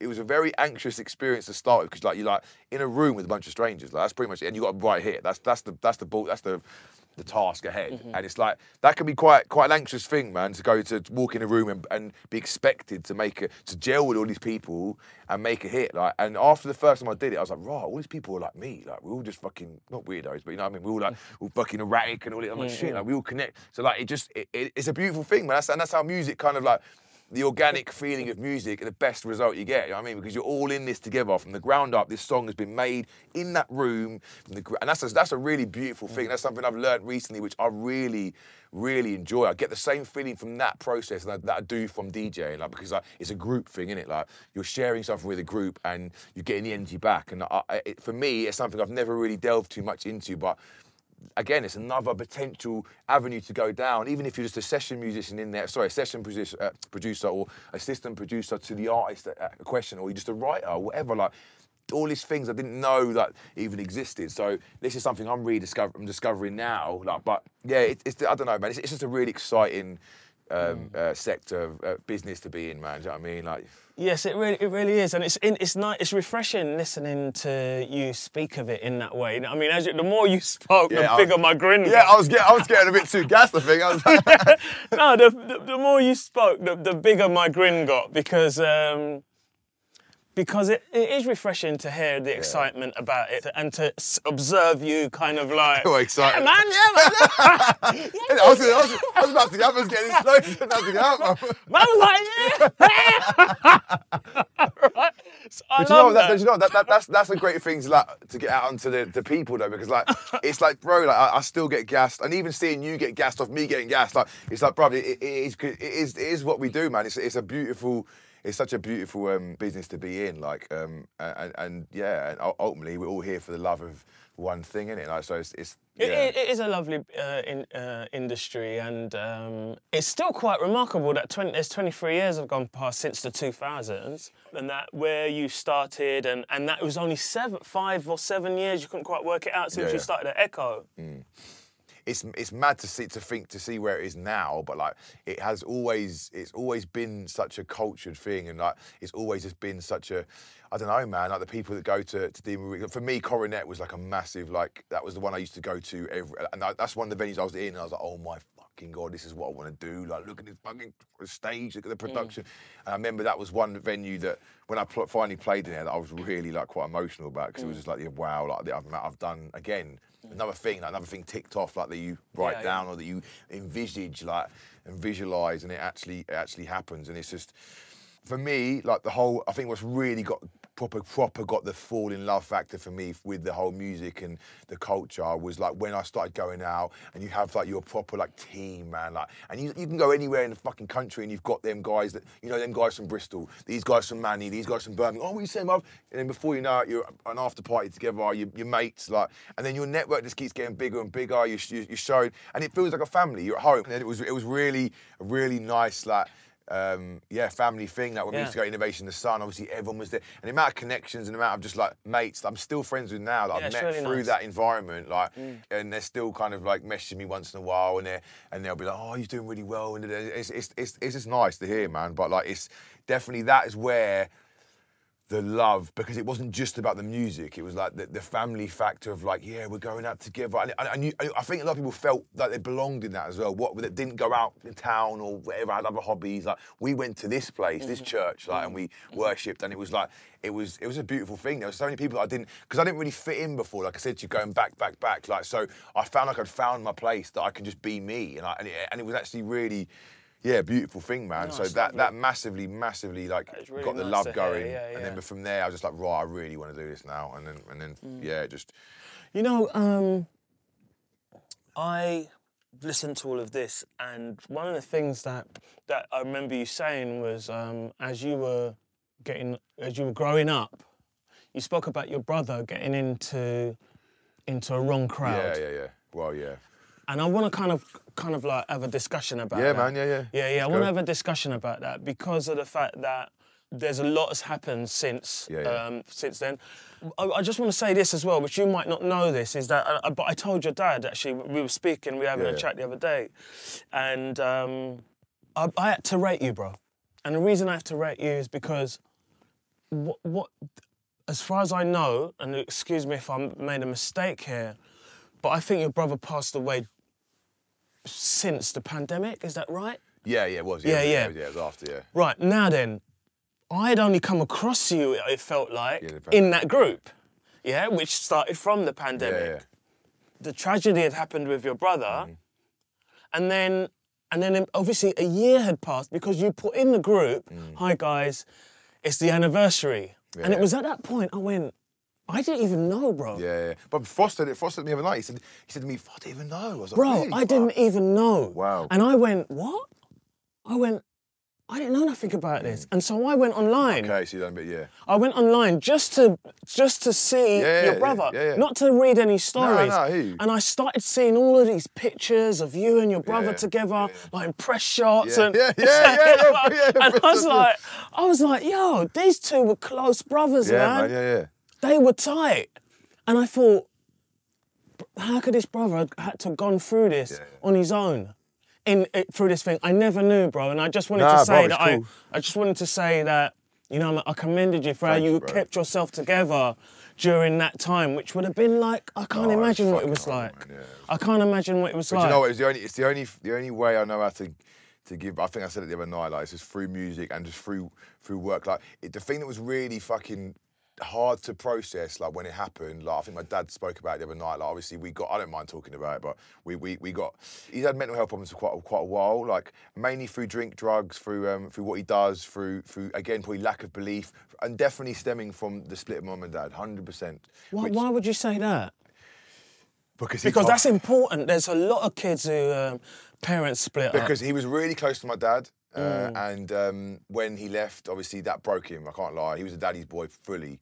Um, so that really broke him. And then again, a number of just things that happened over the years. Again, it's no one's necessarily fault. It's just how things unfolded. But my brother was quite very sensitive, so he was very loyal. So if you told you something, told you a secret, brother, and you told someone, he would fucking, he would, he would, that'd be it. He wouldn't chat to you again. Like so, he was very loyal and he took things very sensitively. So that's why when it comes to the point where it's mad. Uh, so when it when it the thing that I remember vividly, I lived with with him and my ex at the time. We lived in the house in Shortstown in Bedford, and that's when I really clocked. Um, he was selling drugs. I've got no I've got no problem saying it. Like he was selling drugs. So that's when I really. When I was living with him, really realised like the extent of what this lifestyle was doing to him, and and just what it's like, bruv. Like it was just so erratic, like so up and down. Like that there was like cling film. It was it was yeah. It, was like a, it probably felt like a drug a drug yard, and it was quite.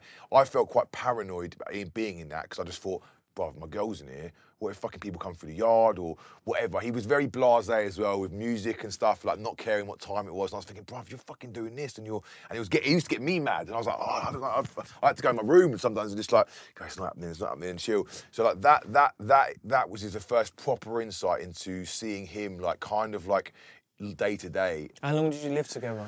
about about eight months, I'd say six to eight months. Like uh, so, we lived together, and, and like I say, it it, it, it was it was a mess of, a, of, a, of an eight months. To be fair, like we were just partying all the time. It was just it was yeah, it was the yard was a fucking mess. It was it was not not particularly a nice.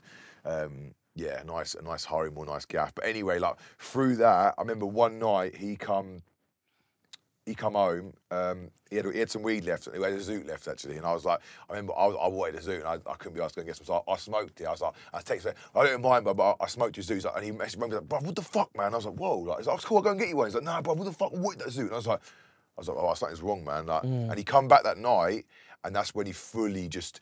And I, feel quite ashamed as a brother for not clocking this, but he just literally fucking told me everything, and I was like, "What?" And he was in floods of tears. He was a broken man. He told me everything, like everything to why he's why he feels the way he does, what he's been like tr- trying to commit suicide and trying to fucking, and it was fucking deep, man. I, and I, I felt so bad because I was like, how the fuck have I lived with you? And I don't even, I've never clocked this. Like, I felt such a shit brother. Um, yeah, so, and I was going on tour. I was going like a European tour, like literally days after. And I was fucking shitting myself because I was like, bruv, you told me some pretty fucking serious allegations, some serious stuff, which I want to help, but he didn't, he didn't really want to, people knowing about it. But I took it into my own initiative to go, look, I need to fucking tell mum and dad. They need to fucking know. So I did that. I rung them both and I told them exactly what happened. Without him knowing you were going to tell. I think so, mate. I think so. Yeah. Fucking, he'll fucking hate me for saying that, but um, I think so, bruv. Yeah, because I was worried because I was No, like, no, I, fuck, I like- understand. I understand. And also as well, the, this is the thing with like with these when things like this happen, like mental health problems, like I know I know the person in question is going through fucking hell. I know that, but also the loved ones around you, like all you want to do is help. But then it, it's that you got to be careful in how you navigate around that help. Yeah, yeah, Everything yeah. starts to almost, starts almost to become a feel, feel a bit sneaky. Like, and then if they get wind of that, then that makes it even fucking worse. They don't, want, they don't, they don't want to open up even more. And that's what I was worried about, man. I was really worried about fuck. Like, if I tell the wrong person, or if I open up and and say, because I wasn't there, so I was like, fuck. I even told my cousin as well, Fran, because they were close. I didn't want it necessarily, to be like mum and dad coming over and, ooh, do you know what I mean? I thought, no, let me, let me just tell Fran, like on the sly, he's not doing too good. Can you just pop in a couple times this week and just chill with him? And he did. And to be fair, it helped. My brother knew that I told him, but I think the fact that he actually had someone there, kind of, he thought, you know what, he's doing the right thing. He looked past like the, the I wasn't chatting shit about him basically. It was mm, like it was actual mm, like I was mm. worried about him. I wasn't going to be there. Yeah, man. So that was when I first really clocked. And I can't remember when it, when it was. It was, it was a good four or five years ago, probably. Um, so that's when it first, and then and then eventually, like, yeah, we, we we got him some help. Like, we actually got him. He was like, you know what, I want to get help. I want to get better. And we went. We took him to a couple places to um, to talk to um, some people and stuff, and and therapists and stuff. And he got to the stage where he was like, I'm cool now. I'm good. And you know what? We are like, you sure? He's like, yeah. And I was like, you know what? You got to respect him, man. If he's telling us, we, I'm not going to mother him. Go, are you sure? Because that's the thing. He didn't want he, he, he hated that. He hated. He, he already felt like the black sheep of the family sometimes because of, um, I don't know, because he wasn't successful or he was always in trouble or he, I don't know. He just, there's something in it. There's always something. My mum, my mum, like especially every time he used, he used to come through the door, my mum would be like, "Oh, you got a letter. You got a sign." He'd be like, "Mum, I don't want to fucking hear it." And I said to my mum like, like years later, I was like, "Mum, like." Obviously, the reason why, because he was like, why is our relationship so volatile? I was like, Mum, because like when he comes in, you're jumping on him straight away with like shit he needs to do. When he's probably walking in with like all this shit on his head, like, oh, and he's walking straight into that. And again, I don't blame like it's mum. Mum didn't know. It's not like it's nothing. Pete, my mum, mum's just yeah, mum's the nicest person in the fucking world, man. She'd do anything for anyone. She's done so much for him as well. Like, but yeah, I was just kind of trying to show her from a different perspective. Like, do you know what I mean? Just these are these are things where again it'll knock his confidence. Like, if he's already feels like he's a failure or these little things can ruin a man's day, bruv. Like, so just be careful about how you do things, like, or how you say things and stuff. And and then yeah, so eventually after he said it was okay, like we kind of just kind of got on with our life again. Really, we had an eye on it, but you say you got to respect a man for for saying, "Do you know what, I'm cool now, I'm good, and and he fucking wasn't, man. That's literally the, the be all end all of it. And like I say, there was, there was a number of times. Um, yeah, I remember once when he was in he was in um, he was on a stag do in Spain, and he he um, did he ring me? I think he rang me. I think his missus rang me at the time, and she was at home, and she was like, she was crying her eyes out. She's like, "He's fucking gone. He's gone in the sea." And what he done is he he, he, he fucked off from the other group. He walked into the sea with the phone, and he's like, "I'm gonna end. I'm gonna do it." And he, and he just dropped the phone. And luckily, she, oh no, it's sake, fucked, man. man. She she got hold of someone there, and Marcus Marrow, like fucking love you, bro, for saving him. He fucking run run to the beach, and they and they, they fucking grabbed him out, and luckily, like luckily he survived, man. But that was like fucking the most. That I remember being on the high street in Bedford. I pulled over and I was like, "What the fuck? What the fuck?" Because I was helpless. I couldn't do anything. It's, I was, I was- it's like in Spain. I was Yeah, like, yeah. What the fuck am I doing? Shit. So that was again another massive alarm bell. He come back. And um, he hated the the the, the are you all right? Like the kind of- Everybody was kind of yeah, love- yeah, like, yeah, like yeah. mollycoddling him. Like, Yeah. are you gonna be all right? He hated that. He hated that. I was like, "Bruv, don't talk to him like that because he's gonna hate it. But it's, again, it's hard because like you're trying to What do you out- do then? What do you do? Yeah, how, how do you navigate around this? And it started causing. And obviously, I was speaking to my my dad and my mum about problems, and then it was almost felt like we are being sneaky behind his back, and it's like, oh, it just, it just, it was, it was a really hard thing to navigate around, man. Like, and um, yeah, obviously, un- unfortunately, like he just couldn't handle it any, anymore, and um, yeah, he, he he done it on September a couple of years ago. Like, I remember getting, it was so weird because I was at my dad's, and I don't really go to my dad's that often in the week. Like, but I was around there for dinner. And um, yeah, man, I just got a phone call from his girlfriend saying Fabio's gone for a cigarette. He's been gone for 20 minutes. Where is he? Like, can you come in? Of, I was thinking, hmm, this is a bit weird. And I remember, I remember we were eating, and I was like, I was like, fuck, Dad, I think we should go and see Fabio. And it kind of, it did cause a bit of a bit of a stir around the table. I was like, look, we got to go. I got a feeling this is fucking not good, man. I just got a good feeling. And then we, yeah, we drove up to, to where it was, which is like round the corner from my mum's house. And uh, yeah, we, pulled- we pulled up the, the, the, the going up this road. We just saw bare feds, and I was like, what the fuck is going on, bro? And I was like, helicopters out, and I was Oh, like, man. I was like, mate, what's happening, bro? What's he done? That's what we thought. What's he done? Like, not not not even thinking like Yeah, what yeah. happened. Like, yeah, pulled up, uh, and um, yeah, his girlfriend Liv was just like fucking like he's he's, he's been gone for tw- he's been he said he's going for a cigarette and he's he's been gone ever since kind of thing. And then like say like yeah, it was just one of them ones where the police were like, look, we'll we'll, we'll, we'll, we'll try and find. Him. They found him, and it was like the big like it was like a movie, bro. Like it was like they come over like, oh, we found him. We're, we're gonna try. We're gonna try our fucking best to, to, to revive him and make him okay. And then it was the big wait, and then it was the big like, I'm sorry, but there's nothing we could do. And that was I remember just dropping to my knees, man, and being like, oh, Sorry, bro. I'm so, Nah, it's so cool. sorry, bro. It's cool, man. It's cool. Like I say, I, I, I'm I, so I feel, sorry, bro. I feel comfortable talking about it now, like and, without getting emotional because it, it, yeah, I've fucking relived it so many times. So, but that was fucking so fucking how savage, bro. Like that was that was like seriously probably one of the worst moments of my life, man. Because like my mum, the thing. Yeah, we had all, all our family came. That's the thing again, which I do love about our fam- my family. As soon as as soon as fucking everyone heard, bruv, the whole family was up there, bruv. Like the uncles, the aunties, the fucking cousins, the everyone was there, all there supporting it, just waiting for this news, like thinking, fuck, like um, and that's one thing I'll commend my family on, man. We definitely do have got each other's backs like that, man. And that was nice. But yeah, man, it just felt surreal, bro. And it just felt really fucking surreal that that's actually just happened.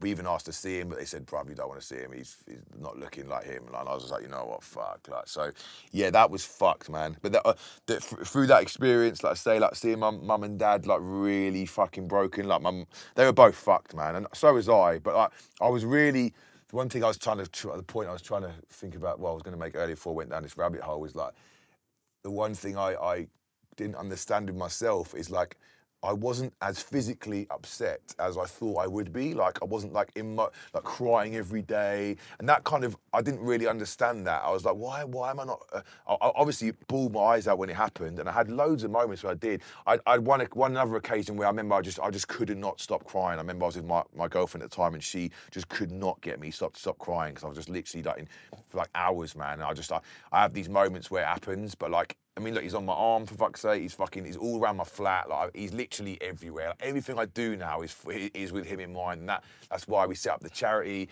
in his name. Fucking, that's why I made the song in his name. Fucking, yeah, we've done a documentary for the BBC for mental health about Fabio and about how it's seeing the signs, and we've done a course and stuff. So we've done. This is the only way that I can like keep his name going in my in in, in the right way possible. I feel proud that like he's he lives on through every single fucking set I do. I play that song at the end, and it's like everyone shouts his name. It's so wherever we are in the world, it's yeah, fucking yeah. beautiful, bro. Like mm. so, every single set he's with me. I've now got this like new visual made as well, like where I've got like loads of photos of him playing with the words on the screen. It's beautiful, man. And at the end of the song, there's, there's like a is like a, a, video that he took um, of himself, basically promoting uh, positive thinking. Like, and it was really moved me, man. And I put it at the end of the song, and now we've got the, we found the original video, so it played. Oh, it's beautiful. So that, along with the charity, along with like the fight I did on a boxing fight with for, for, in his honor, and the whole night was for him. Like literally, like the whole night I had pictures of him everywhere. We raised like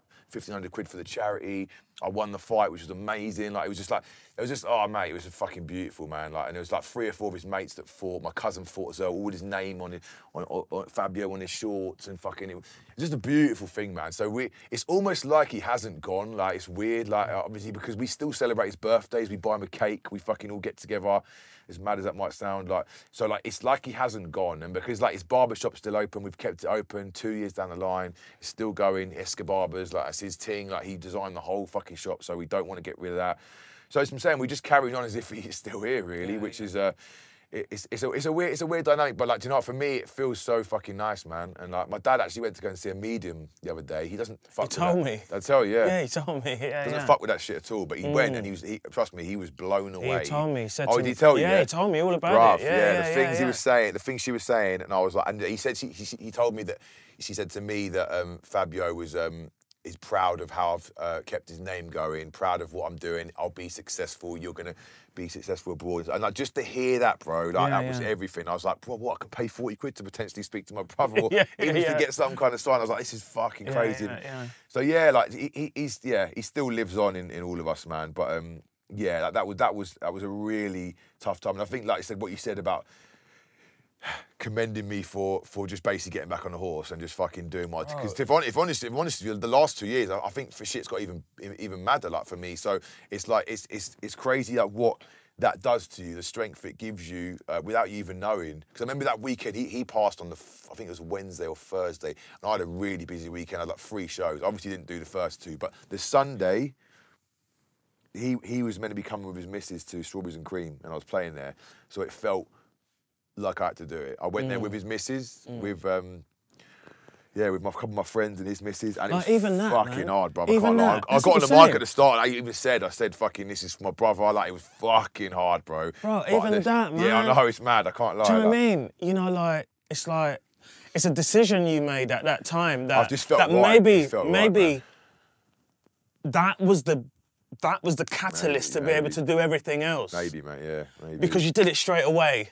You didn't wait. Do you get what I mean? Yeah, yeah, definitely, man. I just thought, look, he was meant to be there. I'm Mm. gonna fucking go. And you know what was so fucking mad as well? Like my it ride, straight away, my, my, my rider is um is is not what I got. I got two bottles of white Belaire, which is Mm. what he fucking drunk, bruv. Like, and that was pure coincidence, bro. They brought them over, like, and I was like. Mm. That's what not the mine. fuck, bruv? Yeah, yeah. Like, no, sure. I was. I was like, what is this fuck? So like, just all these little things that happened, and I was like, wow. And it just felt. And that was before the set as well, so it Mm. felt even more right. But it was fucking tough. I remember, I remember choking a lot of times when I got on the got on the mic. But at the same time, it felt like really fucking like powerful to like have the crowd like shouting his name and mm-hmm. fucking. Oh, it was beautiful, man. So yeah, I think you're right. I think that was kind of like probably because you know what? I probably looked at him and thought, fuck me, bruv, you got through. You done it. You done a really brave. Well it's hard to say brave, but like I just know that. And do you know what? One thing as well, what the medium said, which actually kind of give me a bit of peace, is like I'm alright. I'm in a better place. Fucking, I didn't have ADHD. I was bipolar. I was never going to live a long life. That's what that's what she was saying that he was saying. Like, and again, it's like quite to hear it and you think, oh, it's fuck. And I, yeah, it's it's it's it's it's mad. I, I mean, I'm not really that. I'm not really that believable in that kind of stuff. I believe in energies, I believe in spirit stuff, but like that was like I can't help but get something from that man. Like mm-hmm. I mean, I, am a big, you know, when you see the white feathers on the floor, the angel feathers, in Yeah, your, yeah, I, mean, I always find them in random places, man. And whether it, again, whether it's just something that you just hang on to, which is nice. Like I've got every time I find one, I put one in in like behind this behind a picture or something. Do Mm. you know what as well? Another story just comes very quickly. Like I fucking remember I was in a coffee shop, yeah, like not too long after he passed, and like. It's one of the really quirky ones, and it's got like a wall of books, like a fake wall of books. Like I remember seeing this note sticking outside of it, yeah, and I was like, "What's that?" And I picked it up, and it's like it said, so I can't what the fuck it said. It was something so relatable. It was like, "You're gonna be okay. I'm, be- I'm, I'm, in, I'm better now," or something. And I was like, "What the fuck? This is like mad." And I remember showing it to my mum, and she's like, "What? That's mad!" Like, so you, you do find these things in life that like give you signs, like, and you, and you know what? Take them, man. Like, do you know what I mean? Take them, If yeah, it yeah. makes you feel better, bro. Yeah, take them. take Don't them, fucking take overthink them, bro. Yeah, like, don't That was meant to be there for Yeah, me, man. yeah, Do you know what I mean? Don't That's what I'm thinking. Like, all these little things, Yeah, like, yeah. that's meant to be, and, and that, that does it helps. It makes it a little bit easier, man. Just to Yeah. just go, do you know what? He's fucking there, bruv. So, yeah, man, it's been the hard. It definitely been the hardest experience. It's the hardest thing I- I've had to go through in my life, man, hundred percent. But um, like I say, everything I do now is, is with him in, in mind, man. It's crazy. Like I, want to succeed even more for him. Like it's yeah. mad. Like what, what I really found interesting, I mean, for those, by the time this episode comes out, your event that happened at Fabric maybe some time ago. yeah, yeah. And for those of you, just to give you some context, is that um, since your brother's passing, you know, you set up this charity, Yeah, yeah. which calls What's on Your Mind, which I'd, I'd seen.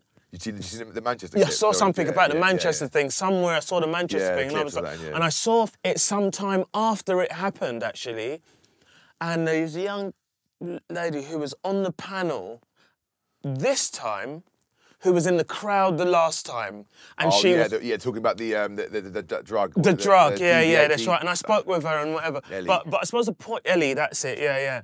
And I suppose the point I'm making uh, and getting round to saying with that was that I came away from there. You know, like, I'm, I'm like, listen, I'm not gonna lie. You know what I mean? When I hear about uh, mental health and I hear about things like that, I don't know enough about it. Yeah, yeah, I hear you. I just don't know enough I about remember, I it. I remember don't when I even. messaged you, I remember you, you were a bit like, oh, I don't really know. Yeah, yeah, I- I- I- and I was Yeah, like, nah, I- bro, you're fucking, you've been this even time, bro. You got, you got stories, you I, got. I don't, don't know. do you know what I mean?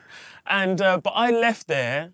A couple of things. I personally left there empowered, but I also left there going, "How can I help?" Yeah, oh, bless you, man. Yeah, yeah. I left there going, "I'm into this." Yeah. Do you know what I mean? This is like a new It's kind. beau- it's it's a nice thing to be able to go to help. It feels good, and like I say, like if it, even on yourself, like sharing, getting that off your chest. Like I know so many people said things they've never said before Mm. in that room. Like, and like I said, I said to you off camera, like that for me is the biggest, like, is one of the biggest. Proud, proud Mm. feelings I've got of it. People feel comfortable to share in that in our environment, in this Yeah, environment yeah. we've created. Like Yeah, that yeah, is, absolutely. For me, like everything, and it seems to just be getting even the messages that get after it. The people that turn up, they're like, "Oh mate, so, we need more of this," and it's true, we fucking do. And, that, and that, that's that's for me is one of the, the main things that we're set on doing is doing these more of these events, like and just raising awareness. And who knows, in a couple of years, we could have Yeah. thousands of people potentially there or whatever. Yeah, I found as well that in in many of the cases, including obviously with your brother and whatever, and the charity that Yeah, came yeah. out from it,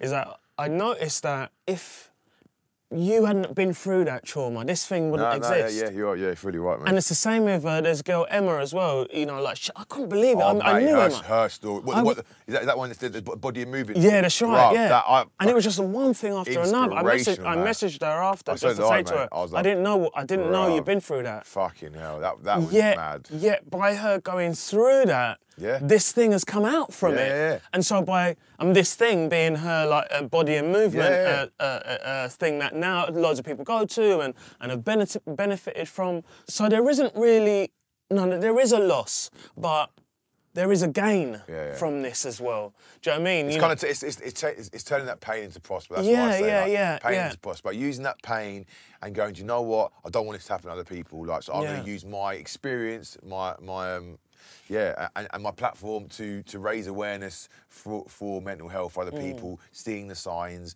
making it not as as alien as it is what Yeah. it still is. Because like I say, there is so there is so much more help out there now, and I, I see I even see ITV. There's an advert every night now about mental health. We should talk about it stuff more. Mm. But again, it's it's beautiful, but I still feel like there's um. Yeah, there's a lot of because even last night when I, on Wednesday, every time we do things, I, I, I'm like, fucking hell, there's a service for that, or there's an app for this. Mm. Yeah, yeah, fuck. yeah. Like, so I still, so I'm, I'm, I'm in the process now. I'm like saying to my team, like, we need to make like a fucking hub, like of all these different brands. So, Exactly, like a yeah. Facebook group or. Telegram, where people But- can come. Yeah, yeah, and go, yeah, yeah. And go in there, and then and then you've got everyone in there for all their resources. Yeah, like, they need, absolutely. like- I mean, that's kind of like I think you might remember that. That's kind of a question that I asked after I'd already spoken. Yeah, did, Which was like going, oh, you did, yeah. yeah, fuck, yeah, Ray which is said, like yeah. you know, like- you know, like this is great. You know what I mean? Like, so, so, so what happened? And and actually, before I go down that route, one of the questions what I want to ask you before I go any further is that you said about your, when we're speaking about your brother, yeah, Yeah, yeah. and you spoke about your brother and you spoke about your parents and you spoke about how you were trying to manage that yeah, Yeah. and you're trying to you knew that this was happening uh, that he had his challenges as a, as a family you were trying to work it out as a family Yeah, yeah, yeah.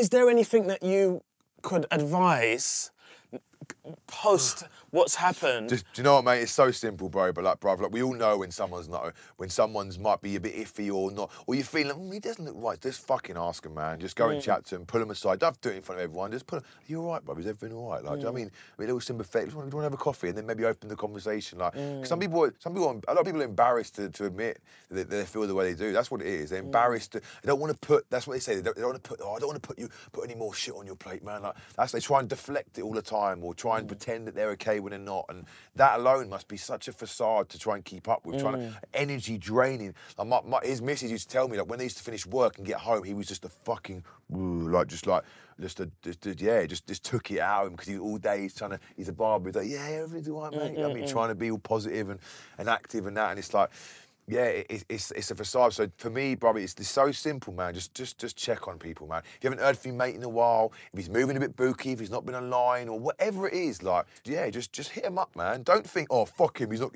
he's not fucking getting in touch with me. He must not like me anymore. Actually, there must be a reason for that, bro. Be the bigger man and go. You know, what? are you okay? Are you okay? I'm here for you. And then of that, that's what opens up potentially. Oh, do you know what? Actually, I could do with a fucking friend to talk to. And then the branch gets held. So mm. for me, that is the one thing that I wish I hit which I was more observant of. Like rather than going, oh, he's in a bit of a mood today. Fucking, hell, I'm not gonna, I'm not gonna go near him. Fucking go near him and actually ask, man. That's that's like mm. that's something I definitely learned, and it's such a simple thing. But we, I think we all, we've all, we all, we all know when someone's not 100, percent whether it's your missus or fucking a mate or even a work colleague. Like you can feel that they're being a bit aggy or a bit. But we just we normally just veer away from that because we don't want that energy. Like, Yeah, you know no, it's true. It's, It's true. so That's just the realness, man. It's the Like, real truth. It's It's true. real You're like, you know what? He- he's doing his thing. Uh, Yeah, I've been there as I've well. been that guy, yeah, hundred percent. man. No, right, Do you know man. I mean? Because I've you're like, you're like. I've got quite a lot going on. Like, I don't really want to. I don't, want, don't really want to get involved in that. Like, and it's like, nah, that's that's need to flip it round and go, Mm. bro. You know, if you do get involved and, and help him out, then not only your energy is going to be better, bro, but you've done something really fucking good. Like, and like I say, we had a couple messages. I think you've seen in the group people saying, oh. When I come to your event last year, like I was, oh no, sorry, he, he messaged, he messaged the um, the Instagram actually, and we have like a team there. If anyone's in crisis, that can contact them straight away, pretty Mm. Yeah, much.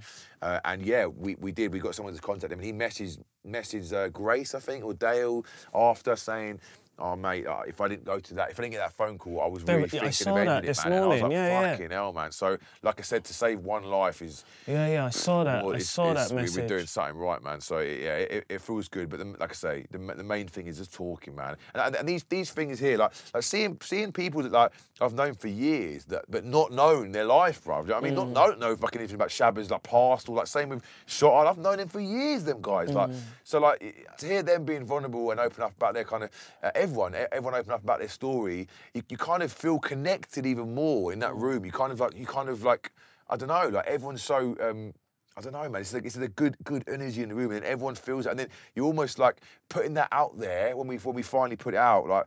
That, that, that's, that hopefully breaks the fucking stigma. Like, ho- hopefully, so many people watch. They go, "Fucking hell, I'm going through that," or "Fucking yeah, that's hell, the entire that- idea, man. Do you know what I mean? just- yeah, man. To go, fuck, see, look, he's going through all this and he's still doing this. Yeah, like, yeah, yeah, So like, that's it, you that- can do it as well, yeah, bro. Like, and- and exactly, that- yeah, that's yeah. that's the main the, the the main point of call with this man to try and get yeah, that. absolutely, absolutely. And if we're, if we're kind of like, if we're looked up to by certain people, we've got pu- public, we've got profiles, we've got followers, then if we're pushing it out and making it normal, bro, Yeah, like, yeah, talk about these things, yeah, then yeah. that's when it will be fucking a lot more normalised, hopefully, like Yeah, in general. But I think I feel like we have a we have a, a duty, man, for to do good with what we've got, and I think that thi- thi- this for me is a something I feel very passionate about, and it seems like everyone else does as well. So it's like there's a gap in the market in ours anyway for like for, for these kind of events, man. And I Mm. just I just feel like. Yeah, man, I feel like um, um, they, they are really doing good. I walked away from that feeling really fucking proud of proud of us, uh, Yeah, of yeah. everyone, everyone for being involved, the way the way it kind of uh, come about. Like we only had a week's notice to do it, so it was very well. I'll say a week's notice. We had some problems beforehand, but yeah, I was really anxious. Like I said, I've come to you like, fuck, if it's gonna be, is anyone gonna turn up? We've only got a week to promote it. Oh, should we put it back? But uh, my team was like, nah, we got this. And to be fair, they did. So yeah, yeah. it was a really good event, man. Really good turnout. So yeah, it was. No, It was well done, brother. Well done, you, man. I man. Appreciate it. I Again, mean? thanks for coming down, Yeah, man. I gotta rate you, bro. We'll get you involved, boy. You said you want to help, man. Get you, get you involved, little ambassador. Yeah, and that. but you got my number, man. Do you know what I mean? Now, this is not lip service. Phone me. Yeah, yeah, yeah, Do you know exactly, I yeah, mean? definitely, man. Phone me, man. Run and be there. Yeah, trust bro. me. You know what I'm saying? That's what I'm saying, man. I'd love to, man. I'd love to. And like I say, it's it's um it's a new area for me. Yeah. Like you know, like and you get, like I say, you get, you, like it's like anything. It's, like, it's even, even go back to when I used to teach. Like you, you're, Mm-hmm. you, it's, it's a really good feeling you're getting from someone going, "Oh my god!" Like when you Mm. could tell you do that one little thing that's like, "Oh my god, that's how you do that." Or Mm. and same with this, like you're unlocking like people's thought process a bit more in their heads, like, and and, you just you're just doing good. And it's like, I mean, it's, a- it's a, It is a you- beautiful You get you thing, get you get great you get good feelings back, man. So yeah, man, it's it's it's yeah. So, so Frank, you know, I know we've spoken about that, and I know, um, you know, I don't want to jump and change and whatever, but but I am very interested actually in this boxing thing. yeah, that's- yo. Right, yeah, talk to me about that. Yeah, because so- I saw, I, I saw a couple of things with boxing. I, I think you were the second person. I was, like, what, what's going on here? and before that, I saw, I didn't know Ray Keith. He, he, he won't yeah. He's like, I've got about yeah, seven Ray fights. as Like, well. Yeah, yeah, Ray. I- yeah, I does forgot- it as yeah, well. that's right. So tell me, what's going on, man? So yeah, above. Do you know what? Like, I just I just got into. My friend was um was training with someone um and just he's, he's basically got a ring in. He's got a ring in his back garden. It's not massive, but like he just did little boxing. And I was like, you know what? I, I like I like high intensity training. I don't like just going to the gym and just doing. I like to fucking sweat. I like Mm. to push myself. Like I used to do a thing called grit, which is like 30 minutes of fucking hell. Like, Mm. but I used to love it. Like it's like army kind of drill shit. Like. So that the boxing thing was like, okay, let me see what this is about. It got it kind of intrigued me. I just went for a couple lessons. I got really into it, and then then literally like my dad rang me. He's like, "Do you want to fight?" And I was thinking, "Fucking hell, dad! I've been doing it for two weeks. Like, I didn't Yeah, really think yeah, I was yeah. even. Gonna, I was doing it for fucking hobby. I didn't think. I was Yeah, gonna, yeah, yeah. And, then, and then and then my mate was like, "Yeah, I'm gonna do. I might fight. I might do that as well." And I was thinking, "Oh shit!" So then it started getting in my head, and I was like, thinking, "Fucking hell!" And it was for Fabio as well because the night was gonna be. And I was like, oh, "Okay, cool, I'll do it." And then next thing you know, I'm fucking training for a fight, and that was like, I started boxing. Well, I started training in in uh, I think September um, last year, so probably about nearly a year, well, over a year ago, and that was just fun. And then then. Then yeah, when it got into the the right, we're, we're, we're going to be fighting now. That's when the training kind of upped a bit, and that's when I had to literally be in the ring. When I when I, I was quite I was quite anxious about being in the ring with someone and actually punching people because I, I I was training with my mate as well. punching a bag. Yeah, yeah, it's a bit different, bro. It's a bit yeah, different, yeah, bro, because but- it punches back. Yeah, yeah, yeah, bro, yeah. And you know what? Like me and my mate, we, we, we did like we we did um we, we do it on each other, and, he, and, and our trainer would watch. And bro, I, I just I couldn't get full 100 percent because I was like, "You're my mate, brother." And then it's like he'd hit me. I'm like, okay, cool. Is that what it is, then, bro? Yeah. And he suddenly start fucking you in again. But like, I just felt this kind of like it just felt weird to like hit my to, to um punch my mate, bro. It Yeah, felt yeah. weird. It's a weird, weird dynamic. I'm not I'm not really a conversational person anyway, Yeah. so it felt weird, but. Yeah, get, getting through that and fucking the training, and I really took it seriously, man. In January, I stopped drinking and everything. I was like, right, I'm gonna get in shape. I had to get from like, I was like 90, 98 kg, and I had to fight at 72, I think, Wow, or that's a 78. lot, man. Yeah, man, I fucking went in, bruv. That's a big So- drop, so, man. my mate, who I was training with, he's a nutritionist, so he really helped me, bruv, like uh, on. Um, uh, yeah, just understanding the food because I was like, why am I not losing weight? I'm, I'm only eating once a day. Like, yeah, but it's like you're eating the wrong time, you're eating the wrong things. Like, da, da, da, you need to eat before you train. All these, all these. He just basically give me a whole lesson on food. He had his app that he's got, and he fucking, uh, yeah, it really helped me. I had to eat four meals a day. Like, I mean, it was quite repetitive, and that, but because I had the goal in sight and I was seeing it working after the first two weeks, I was like, yo, the weight's actually coming off. Like, Yeah. I was like, fuck it, I'm in, and I'm doing it. And I was training hard, and in between this, obviously, I'm still doing my shit. I, I had to go to Australia for fucking a month as well. In between this, like just when we started, that was about two months before the fight. So I was like, oh, so I brought my pads out there with me. Mm. Yeah, yeah, kept the discipline Yeah, yeah, yeah, yeah. Yeah, I, yeah, I actually done a couple of boxing classes out there as well. Um, the one thing that I found the hardest for me was like actually the sparring. Like initially, the thought of like, because I remember doing like 12 rounds with my mate. Um, and we didn't have a head guard on as well, and I was fucked after it, bruv. Like I felt like broken, my ribs were hurting. Mm. I was like, I don't want, to, I don't want to go back in there again. Fuck that, man. Like, and it took me a while to pluck up the courage to go back in again because I was like, I don't want to fucking. I didn't like feeling like that, man. Like I felt battered. I had black eye, my ribs were hurting. Like I was fucking broken, man. Like. All right, we should come training next week. Uh, like- I'm going to Australia. well, next month. I mean, so yeah. I, I, after after that, I got a head guard anyway. I got a Mm. head guard after that because I was a bit a bit more a bit like, like we're going to use a head guard for the fight. So Yeah, I might yeah. as well fuck because I just probably it's just day, brother. I said, listen, it's not my profession. This is like just something I'm just doing for my brother. I don't want to fucking walk out with no ear or Yeah, yeah, yeah, yeah. Eardrum or something. Yeah, like- yeah. So I just thought, let me protect myself a bit more, and um, yeah, man, I just threw myself into it. I had some mad injuries as well, man. I, I really fucked my back up, like literally a month before the fight, man. I thought I was gonna have to call it off, and I really, I pulled my back by. I think I just didn't stretch enough, and I did. I remember doing in the gym, pulled the back thing, and I was like, oh. And then from then, I, I mean, I, I couldn't even walk, man. It was fucked, man. It was really bad. I had, like, I- spine or muscle? it was muscle, yeah, muscle, Yeah, yeah, yeah. yeah. I, I had like um, cryotherapy. I don't know if you know what that is. Yeah, like, yeah, yeah. That fucking really helped. But I was really struggling. I couldn't train for like a month. So like, I didn't really start training until about three weeks before the, like properly again, until about three weeks before the fight. And I was like, fucking hell, this is mad. But my my uh, my trainer was like, bro. Sometimes you, if you peak too early, then you str- you struggle to keep up. Because you've had this little moment out, now you know you've got to give it your fucking all. You have. And he was like, bruv, you fucking. By the you- time you get to that point, yeah, you'll be you're at your the peak, man. Yeah, yeah, yeah. I did yeah. on the night, on the day, on the night. I felt fucking ready, bro. I Mm, was so focused. I was meditating. I was doing fucking spinal breathing. I was doing every. I Mm, was proper in it. I was really in, visualizing every fucking day. Every day, I do this Wim Hof breathing thing every morning. yeah. Every every morning, I was visualizing like knocking him out and fucking how I was gonna do it and everything, and just really like believing it, like. And then yeah, on the day, fucking. Yeah, man, I just I just felt ready, bro. It- I wouldn't even say oh, nervous is quite a hard thing. I was ner- I think I was ha- excited, nervous, but I just felt ready. It's the best way I can put it. I was just fucking in the zone. I was like, let's fucking go. Even coming out, so I don't know if you've seen. I'll send you the fight. I've got the. Yeah, send it to me, I yeah, fucking yeah. feel like I'm Rocky Balboa and I'm coming out. I'm like doing all this shit like a twat, but I, I was just really in it. I had all my friends, family were all there. My mum, my, everyone. It was just such a, and it was all for Fabio. Like just everything was just. I had my sisters walk out with me next to me, and they had a picture of him like Mm. either side. It was just beautiful, bruv. And I literally, I just knew what time it was. I was like, right, let's go. And I remember like it was free. It was close, like, but I definitely took it, man. And uh, Mm. I remember this, uh, the, the second round, he, he got me right at the end. Yeah, and I remember like seeing a bit of, see a bit of a wobble, and I was like, Yeah, yeah. but he didn't follow it up, so I had a Right, bit of time yeah, to recover. and the bell went, and I was like, right, the fucking last round, yeah, bruv.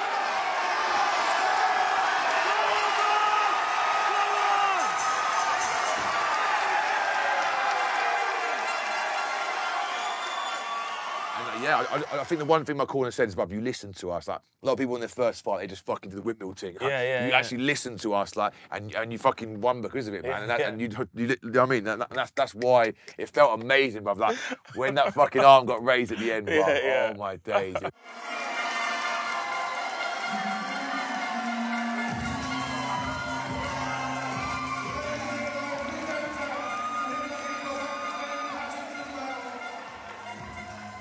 Such an emotional, like, that whole journey, like, oh, I was just so fucking Hmm. so emotional. Windmill, you know. Yeah, yeah, you know, it was there. was, yeah, it's like that.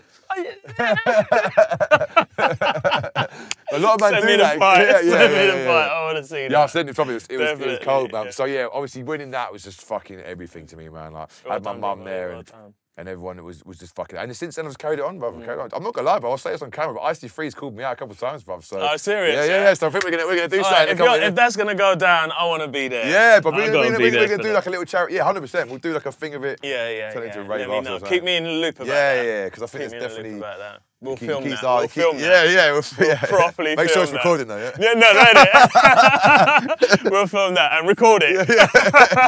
So yeah, no, I've, and I've kept it ever, ever since, man. I, I haven't sparred in quite a, in a, quite a while, just because of my schedule, really. But um, I, I've um, yeah, I, I, every time I go gym now, I, I, there's bags in there, and I, I Mm. always do.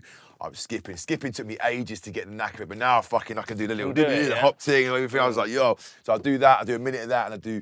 I do three, like three or three to five rounds of the bag, like every time. I just, I just love it. I just really fucking love. it. So now it's literally part of my daily routine, bro. Every time I go gym, I, I'll do boxing, man, and it's like, yeah, that that's all been from that. And I think the why I've connected with it so much is because it just, it just humbles me. It's just you in the bag for a second. You're just fucking. It's like saying when you're like running or doing any any kind of high intensity sport where you, you you're, you're feeling fucked and you have to carry on. Like you, that's when your vision goes ooh, and you're just there. You're not thinking about all them shitty things. Yeah, it's yeah, like I've got to survive. Fuck. Yeah, yeah, yeah, And that's the one thing I was choice, saying. yeah. When, when, when the bell went, because if I'm not gonna lie, I looked in before. I was like, ah, bro, this is gonna be. You don't look that fucking good. Yeah. And then when, when it got to the fucking actual like.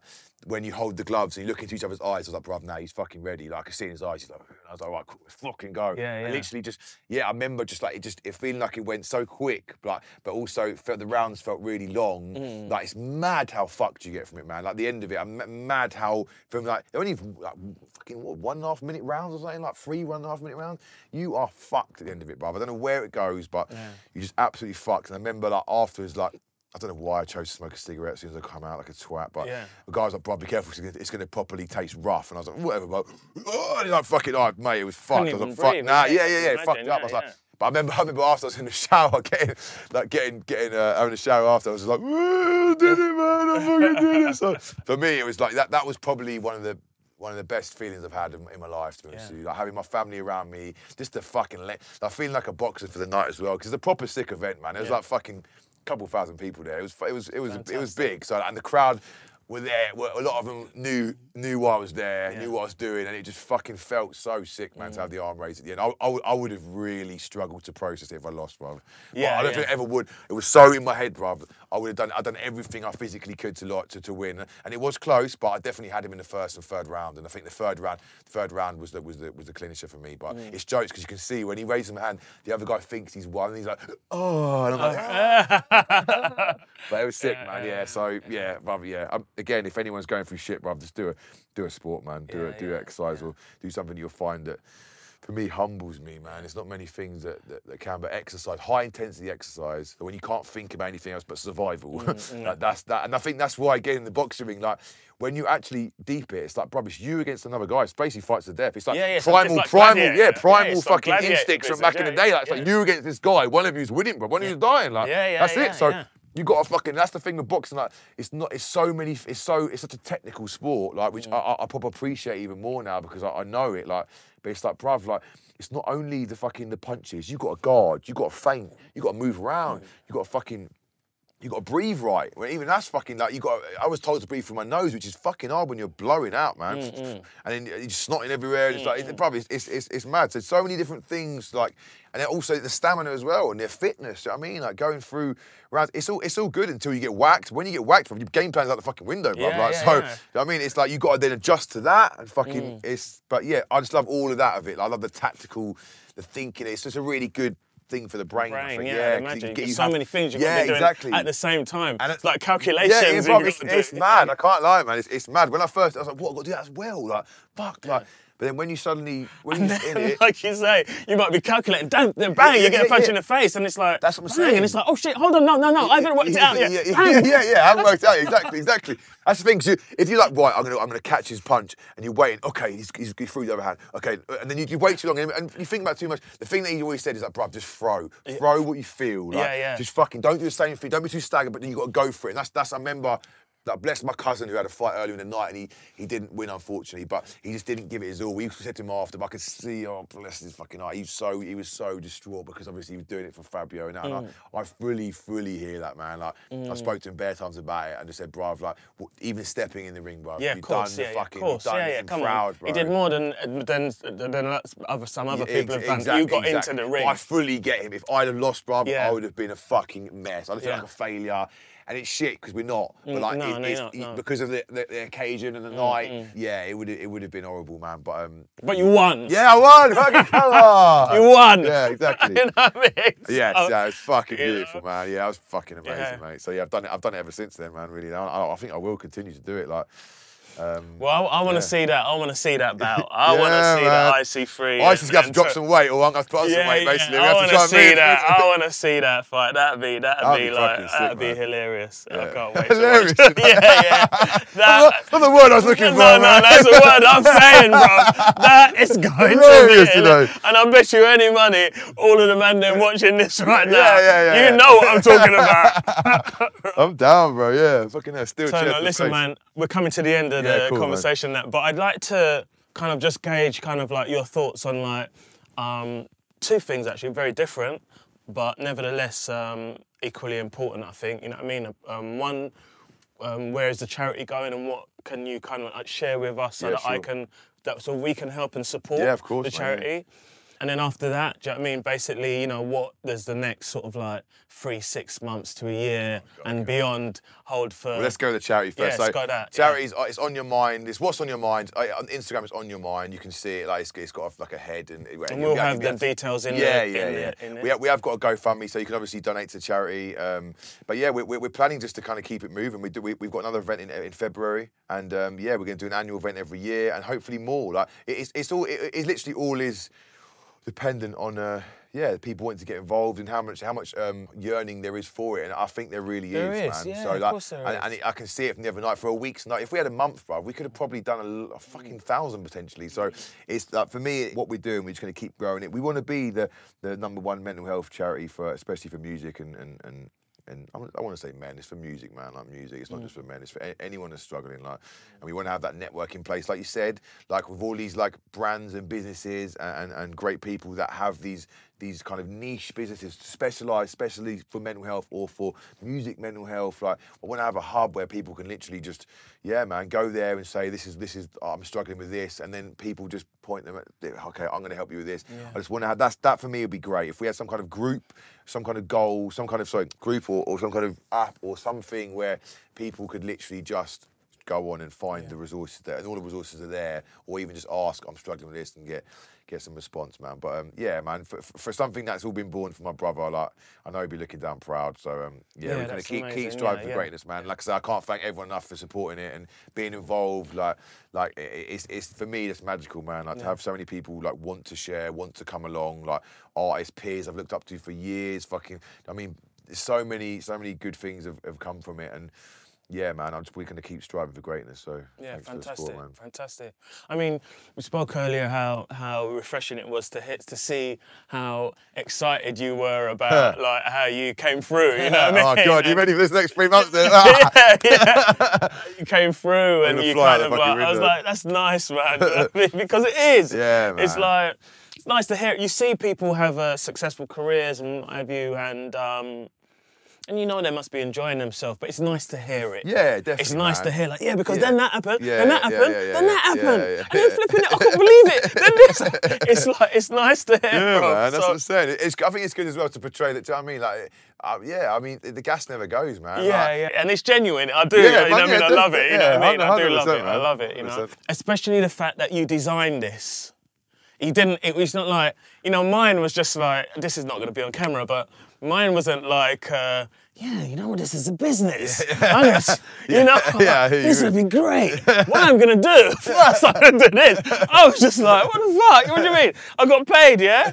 We're ass fat. Yeah, Do you know what I I mean? you, But um, but yeah, so so what that what is the next kind of like three months looking free? Well, the- the main what, thing what- in fact, what is what's going on for Turn Turno Ge- Well, the, the, the main thing that I've been working on for the last two years is is is my uh, my show called Game Time, which is like Some, oh, Wolf told me about Yeah, that, but yeah. I didn't get it. So you tell me. Okay, cool. So basically, it's an audio-visual show, like, um, but it's the concept behind it is it's it's basically a lot of my childhood kind of like. Uh, influences i guess man like it's got a lot of kind of like old gaming kind of like i've got a super mario kind of skit in there i've got Yeah. like a uh, I'll show you after off camera. They look fucking sick. They basically remade me into like an avatar, and, and they put me into Mortal Kombat, which looks fucking Right, unreal. yeah. They put me into like into this Pac-Man thing, getting chased by a Pac-Man. It actually looks like me. It's mad. Like they've Right, done. yeah. Uh, and uh, yeah, so basically the, the show would have been done by the time this goes out anyway.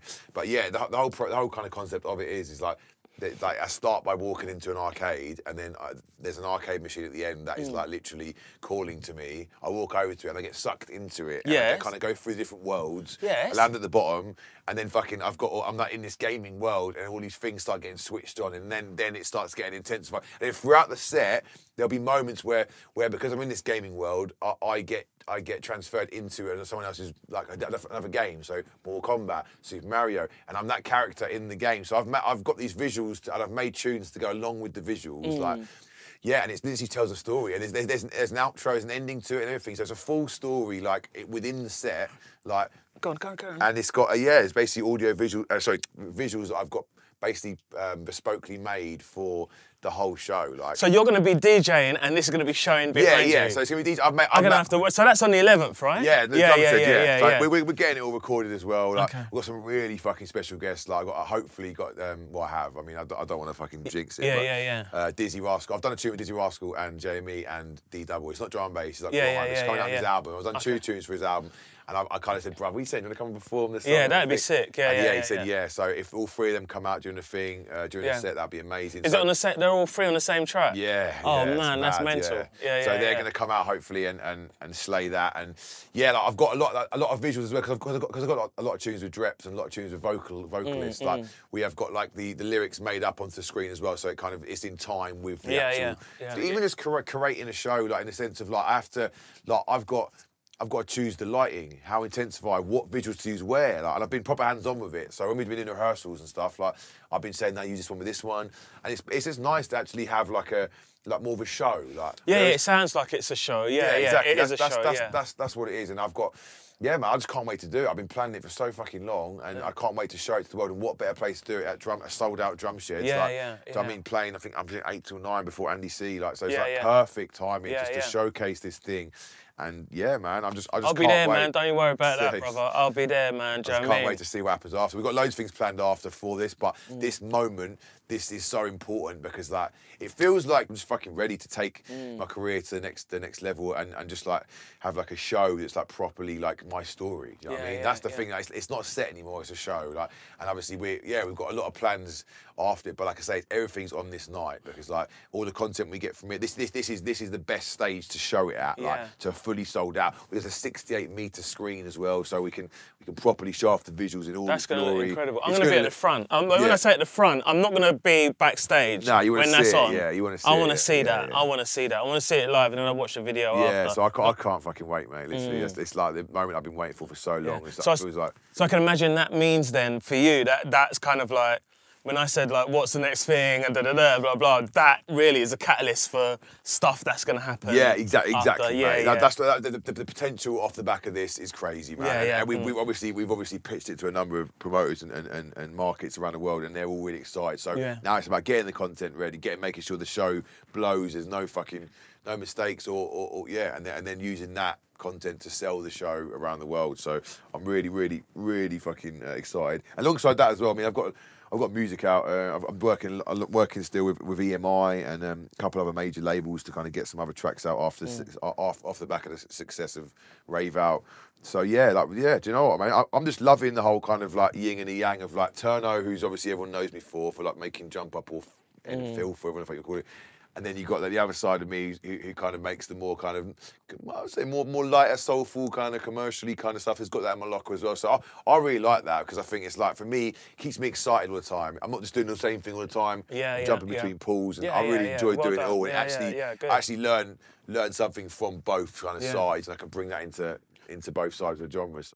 Well, brother, I look forward to um, to Saturday. Yeah. Right, I look forward to next Saturday. That's going to be a good laugh. Thanks for joining us today. a pleasure, man. Yeah, yeah. It's been like a really uh, contrasting. Yeah, yeah, yeah.